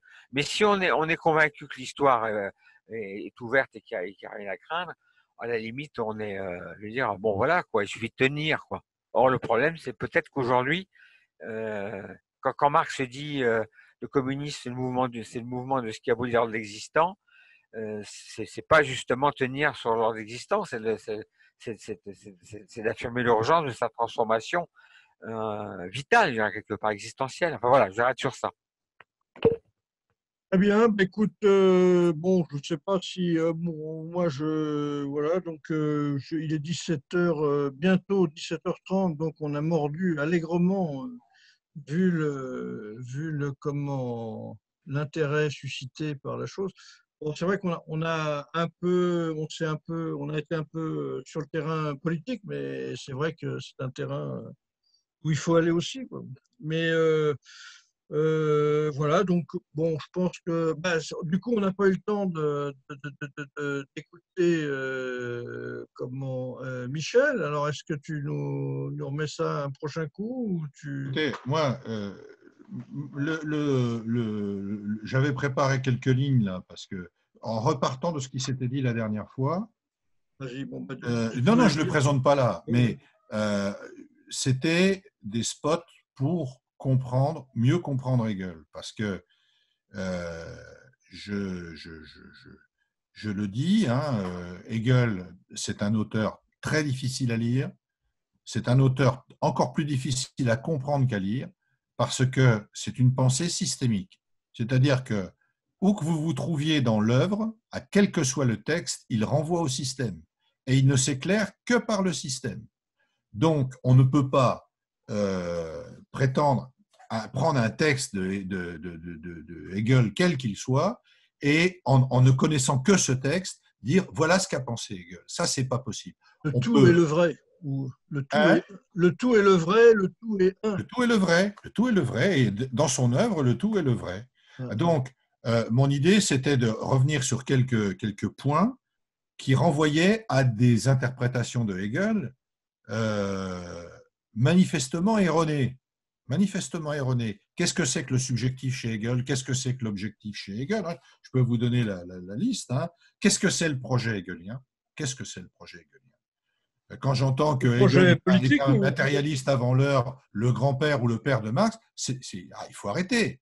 Il faut arrêter. Historiquement parlant, c'est un contresens. c'est même, c'est même, c'est même du révisionnisme historique. Ah, là, je, ça, Hegel. on en reparlera, mais je ne pas. Passionnant. Je ne suis pas là-dessus. Hein? Ah non, non, non, non, non, non, non, non. Ça rend d'autant plus passionnant la rupture marxienne que Hegel a été ce qu'il a été. Voilà. Le, le centre de gravité de la pensée hegelienne, c'est le christianisme. Si on ne comprend pas ça, on passe à côté et on laïcise Hegel. Comme le dit euh, Sanchez Vasquez, on, euh, on, comment, on, on, fait une lecture anthropologique de Hegel. Mais euh, non, c'est pas ça. Euh, Hegel, c'est pas ça. Bon. Ensuite, il y avait qu'est-ce que c'est que la logique hegelienne? Quel est le statut de la logique chez Hegel? On dit, on dit la, la, dialectique, Marx va la chercher chez Hegel. Mais dans quelle mesure il la transforme? Euh, est-ce qu'il l'apprend brute? Qu'est-ce que c'est la logique chez Hegel? La logique chez Hegel n'a rien à voir avec une méthode au sens scientifique, au sens de recherche du terme. C'est une méthode d'exposition du mouvement du concept. Voilà. Donc ça, il faut le clarifier, parce que sinon on se trompe, y compris sur ce que c'est que la logique. La logique chez Hegel n'a pas le statut de la logique formelle, le, raisonnement non contradictoire, euh, tel qu'on peut l'apprendre quand on est en première année d'université. Euh, qu'est-ce que c'est que, euh, qu'est-ce que, c'est que le, la notion de pratique chez Hegel? Ah bah là, on est en plein dedans. Là. On, parle de, on parle de la raison pratique chez Hegel. Lénine, Vasquez cite un passage de Hegel où on parle de la raison pratique. Mais attention, qu'est-ce que ça veut dire raison pratique chez Hegel? Voilà le type même de concept qui évolue en fonction de la place du système où on se trouve. En plus, c'est compliqué par le fait qu'en allemand, il y a deux mots pour pratique. Il y a Tätigkeit et il y a Praxis. Contrairement à ce que dit le, dictionnaire du marxisme qu'avait fait Labica en son temps, qui réduisait la question de la pratique au concept de praxis, et en disant praxis, ça veut dire deux choses, factualité et, euh, et euh, pratique sociale, euh, il y a deux mots. Il y a Tätigkeit, qui, est un mot allemand qui tend vers la factualité, et il y a Praxis, qui renvoie à l'échange. Praxis, c'est l'échange en grec. C'est-à-dire, quelque part, la praxis sociale. Donc, il faut bien caler tous ces concepts-là, comprendre comment ils évoluent, comment on, en arrive à une raison pratique, et quel est le statut de cette raison pratique chez Hegel par rapport à la raison tout court, c'est-à-dire au mouvement de l'histoire. Oui, mais ah, c'est ça que je voulais expliquer rapidement. C'est vrai, c'est que, sinon on continue à raconter des conneries. Excusez-moi, mais on, est en train de, on est en train de se jouer du violon. Euh, Hegel, Hegel, euh, Hegel, pratiquement Marx, et chez, Marx pille Hegel. Non, pas du tout, pas du tout. Alors juste, on, on, était donc par rapport à par rapport à ce livre là, donc Philosophie de la praxis, donc le livre majeur en fait de ce philosophe Sanchez Vasquez. voilà, donc bon, on peut pas nier si tu veux que bah, dans l'exposition qu'il fait, si tu veux, euh, des choses absolument euh, irréfutables euh, sont là. C'est-à-dire que avant Hegel, pas de comment de vision philosophique, anthropologique du travail. C'est vrai.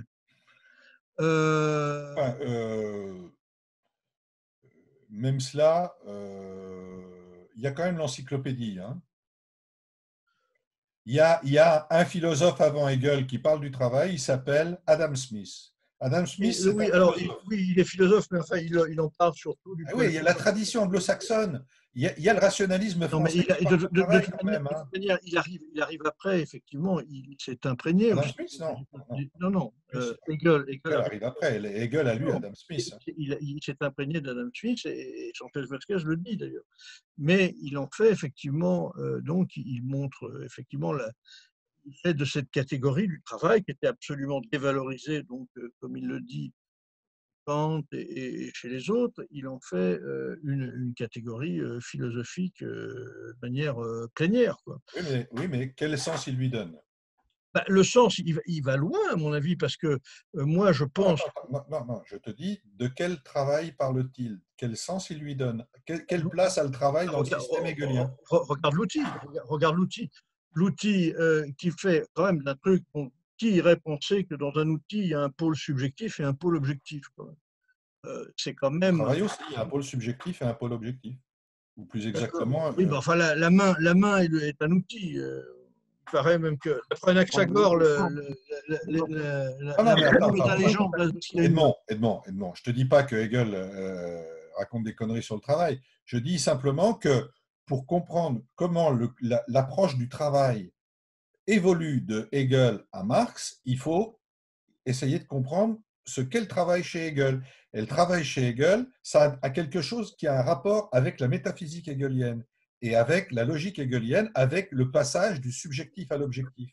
Le travail, c'est une. Alors, alors, alors, tout à fait, tout à fait. Mais alors, moi, je crois que je, je, crois qu'il a, il a, par exemple, l'apport de, de Feuerbach là-dessus, donc qui remet un peu euh, Hegel, euh, qui était les pieds sur les pieds en haut et la tête en bas, donc en montrant qu'effectivement l'esprit dont parle Hegel n'est autre que la projection finalement de l'homme. Euh, voilà, une projection anthropologique, ça c'est un fait, quoi, et c'est bien de l'avoir, à mon sens, c'est un, un, un, gros progrès de, de, l'avoir vu par, de, de, la part de Feuerbach, et, mais euh, voilà, donc il y a un pôle euh, effectivement subjectif euh, et un pôle objectif dans le dans, dans l'outil. Ça, je, je, pense que c'est quand même quelque chose de, de, très puissant, quoi, parce que bien sûr, De, de, et de jamais encore de jamais encore pointer. après, après le, le, fait, le, le, fait, le, fait que le fait, par exemple, dans la logique, après, moi je, je, je n'ai pas lu Hegel, pas dire effectivement. Mais le, le, le fait qu'il euh, montre que finalement euh, euh, le, le, rapport, le rapport enfin, même il va jusqu'à dire le, bien, le bien, la notion de bien qu'on a finalement, c'est simplement euh, la légalité de l'objet. C'est-à-dire que c'est effectivement euh, le fait de, comment, euh, d'un point de vue subjectif, eh que ton point de vue subjectif soit capable d'effectuer la praxis de manière sans, sans, sans, sans, faillir. Voilà, donc, donc, tous, ces, tous ces données me semblent extrêmement, extrêmement décapantes. Je les retrouve chez Kouska, les retrouve euh, je dirais moins chez Marx, mais je n'ai pas non plus euh, la prétention de connaître Marx. Euh, je, pense, moi, effectivement, que c'est pour ça que je pense que ce, ce, cette relecture de, Sanchez Vasquez qui va parcourir à la fois bah, l'histoire de, la praxis à travers Hegel, Feuerbach, Marx et Lénine est importante pour voir ce qui éventuellement aurait pu être développés par les uns, euh, d'autres euh, laissés de côté, et euh, que effectivement, pourquoi, comme le, comme le laisse penser Kouskar aujourd'hui, on est dans une période effectivement où bah, il y a, a l'ensemble, on n'a pas les on n'a pas les, vraiment les, comment les, la, possibilité la possibilité de, comment euh, de, des outils donc pour euh, théoriques pour euh, pouvoir vraiment assimiler. Voilà, donc c'est un peu l'idée. Alors bien sûr, on en aura une vision totale et totalisante qu'à la fin de notre lecture. Quoi. Donc, comme de Kouskar, on peut en avoir une vision totalisante à la fin de la lecture de Kouskar. Moi, je sais que ça m'a fait énormément de bien parce que j'ai défriché un petit peu avec vous, grâce à vous d'ailleurs. C'est la contradiction qui fait que. Christian, tu as la tête en bas et. Il faudrait que tu appelles Marx au téléphone. oui, il va te remettre, il va te remettre immédiatement euh, Voilà, ça marche, mais il tombe. Pardon. Donc, c'est plutôt comme ça. Alors, c'est vrai que, bon, bah, et au passage, au passage, effectivement, des notions euh, telles que l'abolition de l'État, l'abolition du travail, l'abolition euh, de l'argent, euh, je me demande si effectivement ils n'ont pas quelque chose à voir justement avec des, des problématiques philosophiques qui sont, qui sont en amont. Quoi. Voilà, donc c'est des, je, je, ne, je ne dis pas que c'est ça, mais j'aimerais bien travailler ça parce que je pense que c'est une problématique euh, intéressante qui est soulevée par Kouska, qui me semble euh, était euh, partiellement présente chez, Hegel aussi, qui voulait comment dire, le, réel selon sa logique, hein, sans, et le, fait qu'il ne veuille pas, comme Kouskar d'ailleurs, qui, rejette l'idée de, résidus transcendantaux, qui sont, à mon sens, pas mal généralisés dans pas mal d'approches, même marxistes, euh, donc me paraît quand même assez fructueux. Voilà, mais je, n'en dis pas plus, quoi, hein, donc je, je, ne sais pas. Bon, on se revoit la prochaine fois alors. le travail, dans le travail, euh, voilà. On parle de quoi la prochaine fois alors? Deuxième chapitre. Ben, à, moins que tu, que tu, tu penses vouloir effectivement. Non, non, non, non, non. Moi, je, en gros, en gros, non, non, mais je, non, non, je veux pas faire. À ce moment-là, on, à ce moment-là, on, on, attaque directement, mais alors là, sans relire le, sans relire le comment le premier sous-chapitre finalement, était dédié au, enfin, à, l'archéo, archéo-galianisme, finalement directement la conception du travail vivant avant la phénoménologie de l'esprit chez Hegel. Du travail avant. Intéressant le passage. Hein? Il est intéressant ce passage. Oui, c'est tout, tout, ce passage où il y a le, la positivité, l'outil, tout ça. Euh, c'est la satisfaction médiate du désir chez l'animal, immédiate chez l'animal, médiate chez l'homme. Euh, tout ça, c'est des notions hegeliennes. Quoi, hein, donc, euh, ah, je ne pense pas qu'avant, il y en ait eu des occurrences dans la philosophie, mais Ok, on fait comme ça Écoute, on, fait comme ça, donc euh, on se, j'enverrai. Alors, euh, pour la date, euh, bon, voilà, je pense que ça serait. Nous sommes le 13. Moi, le 28, je ne suis pas là. Alors. Le 28, je suis absent. Ah, tu es au 24 heures du Mans? Non, ah non, c'est en septembre, les 24 heures du Mans. Là, le 28, j'ai promis à ma femme qu'on irait voir ma fille à Bruxelles, donc je serai à Bruxelles. Alors, c'est le 27 à ce moment-là? 27, je ne suis pas là non plus parce que je pars le, jeudi et je rentre le dimanche. Ah oui, le 27, ah oui, le 27. D'accord, Non, non, non, je ne serai pas là la fin de semaine. Là. Alors, on peut, à ce moment-là, on peut dire qu'on fait le 4, euh, le 4 juillet, si vous voulez. Tu es là le 4 juillet ou... Oui, le 4 juillet, je suis là, oui. À ce moment-là, on dit le 4 juillet. Euh, est-ce que... toi, euh, Christian, le 4 juillet? D'accord. En fait, euh, parfois, je suis, là, je n'ai Internet que chez moi, enfin, que, là où j'habite à Créteil. Donc, parfois, je ne suis pas ici, donc je ne sais pas encore, euh, mais je vais essayer. Quoi. Le 26. Marc n'est pas là. Il est plus là. le 4 juillet. non, il n'est pas là tout de suite. Il est parti, lui. Je, je, lui poser la question, je le vois lundi, là.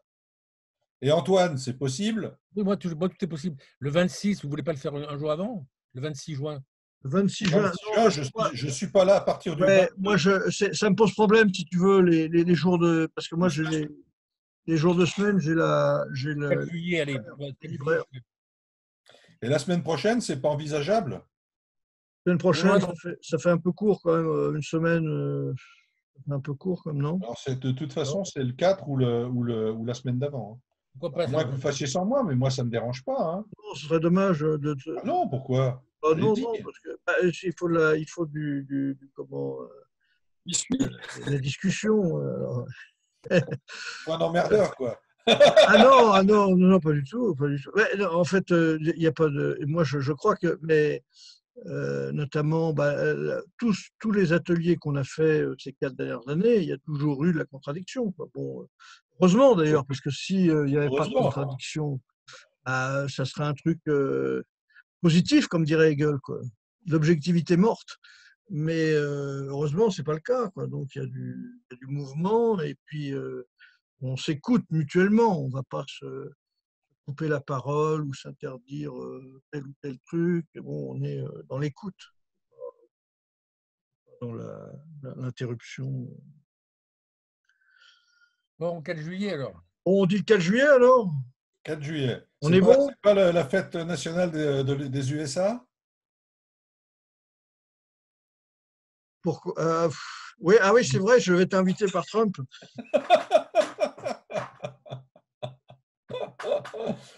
bon, allez. Et faites un usage raisonné de l'eau de Javel, hein, s'il vous plaît. Hein. C'est pourquoi Pas d'injection. Euh. Pas d'injection. Euh. Eh, mon, père, à un moment, j'avais des chalazions. Mon père, il voulait me foutre de l'eau de Javel dans les yeux pour. Euh, oh, heureusement, heureusement que je lui ai dit, j'ai eu un, soupçon, une espèce de sursaut de lucidité, malgré le, euh, comment, enfin, le, respect que j'avais pour mon père. Je dis quand même non, là, là non. même pas un œil pour voir. Dis alors, oh, oh, Simondon, on attaque ça quand alors? Que je, je préfère que soit pas. Il faut que je ressorte mon bouquin et puis que je le relise. Alors, bah écoute, euh, au début, je voulais faire en vidéo comme ça, mais euh, je sais euh, qu'on le fasse en vrai, parce que du coup, euh, il y a des, choses qui sont importantes, qui sont soulevées par Simondon sur, la, sur la question de, sur les questions perceptives, qui sont, qui sont très fines, et j'aurais voulu justement éviter que ce soit strictement audiovisuel là, avec ces, contraintes. Hein. Oui. Euh, C'est-à-dire que si tu es coupé, si es coupé, on t'a perdu plusieurs fois hein, dans le truc. Hein. Oui, on t'a perdu. On t'a perdu deux, trois fois avec le son, je te voyais plus, euh, je sais pas si. Donc il y a des choses qui, qui déconnent chez moi, donc aussi. Donc, euh, et puis, voilà, bon, on a fait plusieurs lectures déjà, j'ai amendé plusieurs fois le texte, donc il a été beaucoup travaillé. Euh, donc du coup, il n'est pas encore euh, complètement. Il y a encore des, questions sur les, notamment sur, les valeurs et sur euh, l'information. il y a encore pas mal de, de, de, quelques petites choses à, parce que comme c'est un condensé quand même, donc j'essaie de le faire parce que du coup c'est quand même très dense, hein, sinon dans le départ. Donc, euh, pour arriver à, à, à, avoir un fil euh, qui, soit, qui soit comment dire, tendu, quoi, avec une, compréhension quand même, parce que déjà j'en suis à plusieurs lectures de, de, successives. Et chaque fois, je, je, je, parle, je parle, du bouquin qui me sert de référence qui est euh, l'individuation psychique et collective. Alors là, on est, on est quand même dans un, sur un terrain qui est, qui est très, très, très intéressant euh, euh, par rapport justement aux questions sociales. Quoi. Là, on est vraiment, franchement, c'est et la partie justement la, le psychosocial, quoi, et, des questions que j'aimerais bien qu'on soulève par rapport à Marx, quoi, parce que c'est mmh. encore ce qui semble avoir. ce, serait, ce serait pour le septembre alors ton truc? Bah oui, pour ça, moins qu'on puisse qu'on se, doit, se voit sur une séance en vrai, euh, dans ce cas, moi je le, je, le lirai à ce moment-là, si vous voulez. Mais sinon, euh, je préfère euh, ne pas le faire par, par, vidéo. Et est-ce qu'on peut envisager pendant les vacances d'avoir un point, par exemple, en milieu de vacances ou un truc comme ça pour préparer le travail de cette oh, Oui, oui, tout à fait. Je pense que ce serait pas mal. On, utilise ce truc. Là, oui, donc à ce moment-là, oui, je, je, je, ferai, à ce moment-là, je pourrais demander euh, votre, enfin, votre avis sur la date. Euh, enfin, on pourra en discuter la prochaine fois. On verra ça la prochaine fois. Hein? Ah, mais bon, euh, disons plutôt ceux qui viennent d'habitude, quoi, bon, pour ah, organiser un peu. De toute façon, les autres. Profiter des vacances pour, euh, pour faire marcher les méninges un petit peu. Alors, si vous voulez, moi, je, vous diffuse le texte en, texte. Si vous Ah, si tu, si tu avais une partie du texte, oui. Au moins, pas, pas l'ensemble, parce que ça va faire beaucoup. Mais ça nous éviterait peut-être d'acheter le, le, truc. C'est un livre intéressant. Hein. Lisez-le. Hein. C'est un livre intéressant. tu dis, c'est quoi le titre déjà? C'est Du mode d'existence des objets techniques. Le mode, ça, c'est c'est la première partie de la thèse, et celle qui m'a surtout servi, alors donc évidemment, c'est la plus connue, celle-ci, parce qu'elle a, été, elle, a été relayée. Mais sa thèse est en deux parties. La deuxième partie, elle est, elle est intéressante, euh, en particulier sur le caractère humain, parce que c'est l'individuation psychique et ah collective. Ça, c'est ça, que je dis. Alors, ça, il faut, moi, je voudrais que tu me l'envoies complet, le texte. Parce que ah, je n'ai pas, lu ça. Ça, je ne l'ai pas lu. N'ai pas, je bouquin. Hein, envoie-moi ce que tu as. Envoie-moi ce que tu as. Tu en as une grosse partie ou une petite partie seulement? Ah, Non, non, j'ai pris des notes. J'ai une petite partie. C'est juste des notes. Euh, donc, c'est un peu difficile. Et le bouquin, il est paru chez qui alors? Ça, c'est moi, j'ai une version qui est, qui est, euh, qui est chez Oublié, mais je crois qu'il y a une version totale. Euh, avec les deux parties qui, qui, qui, a été rééditée parce que Thomas l'a acheté récemment. Oui. Donc il y a les deux parties de la thèse, mais je ne sais pas. Je sais pas d'accord, d'accord. Alors, attends, je, vais prendre L'individuation technique Psychique et collective. Psychique et collective. Individuation psychique et collective. D'accord. Voilà. Mais ça fait partie de la thèse globale parce qu'elle a été éditée en, 58, je crois. 58. Écrit en 58, pardon. Donc c'est. Ouais, Individuation psychique et collective dans quoi, non? C'est tout?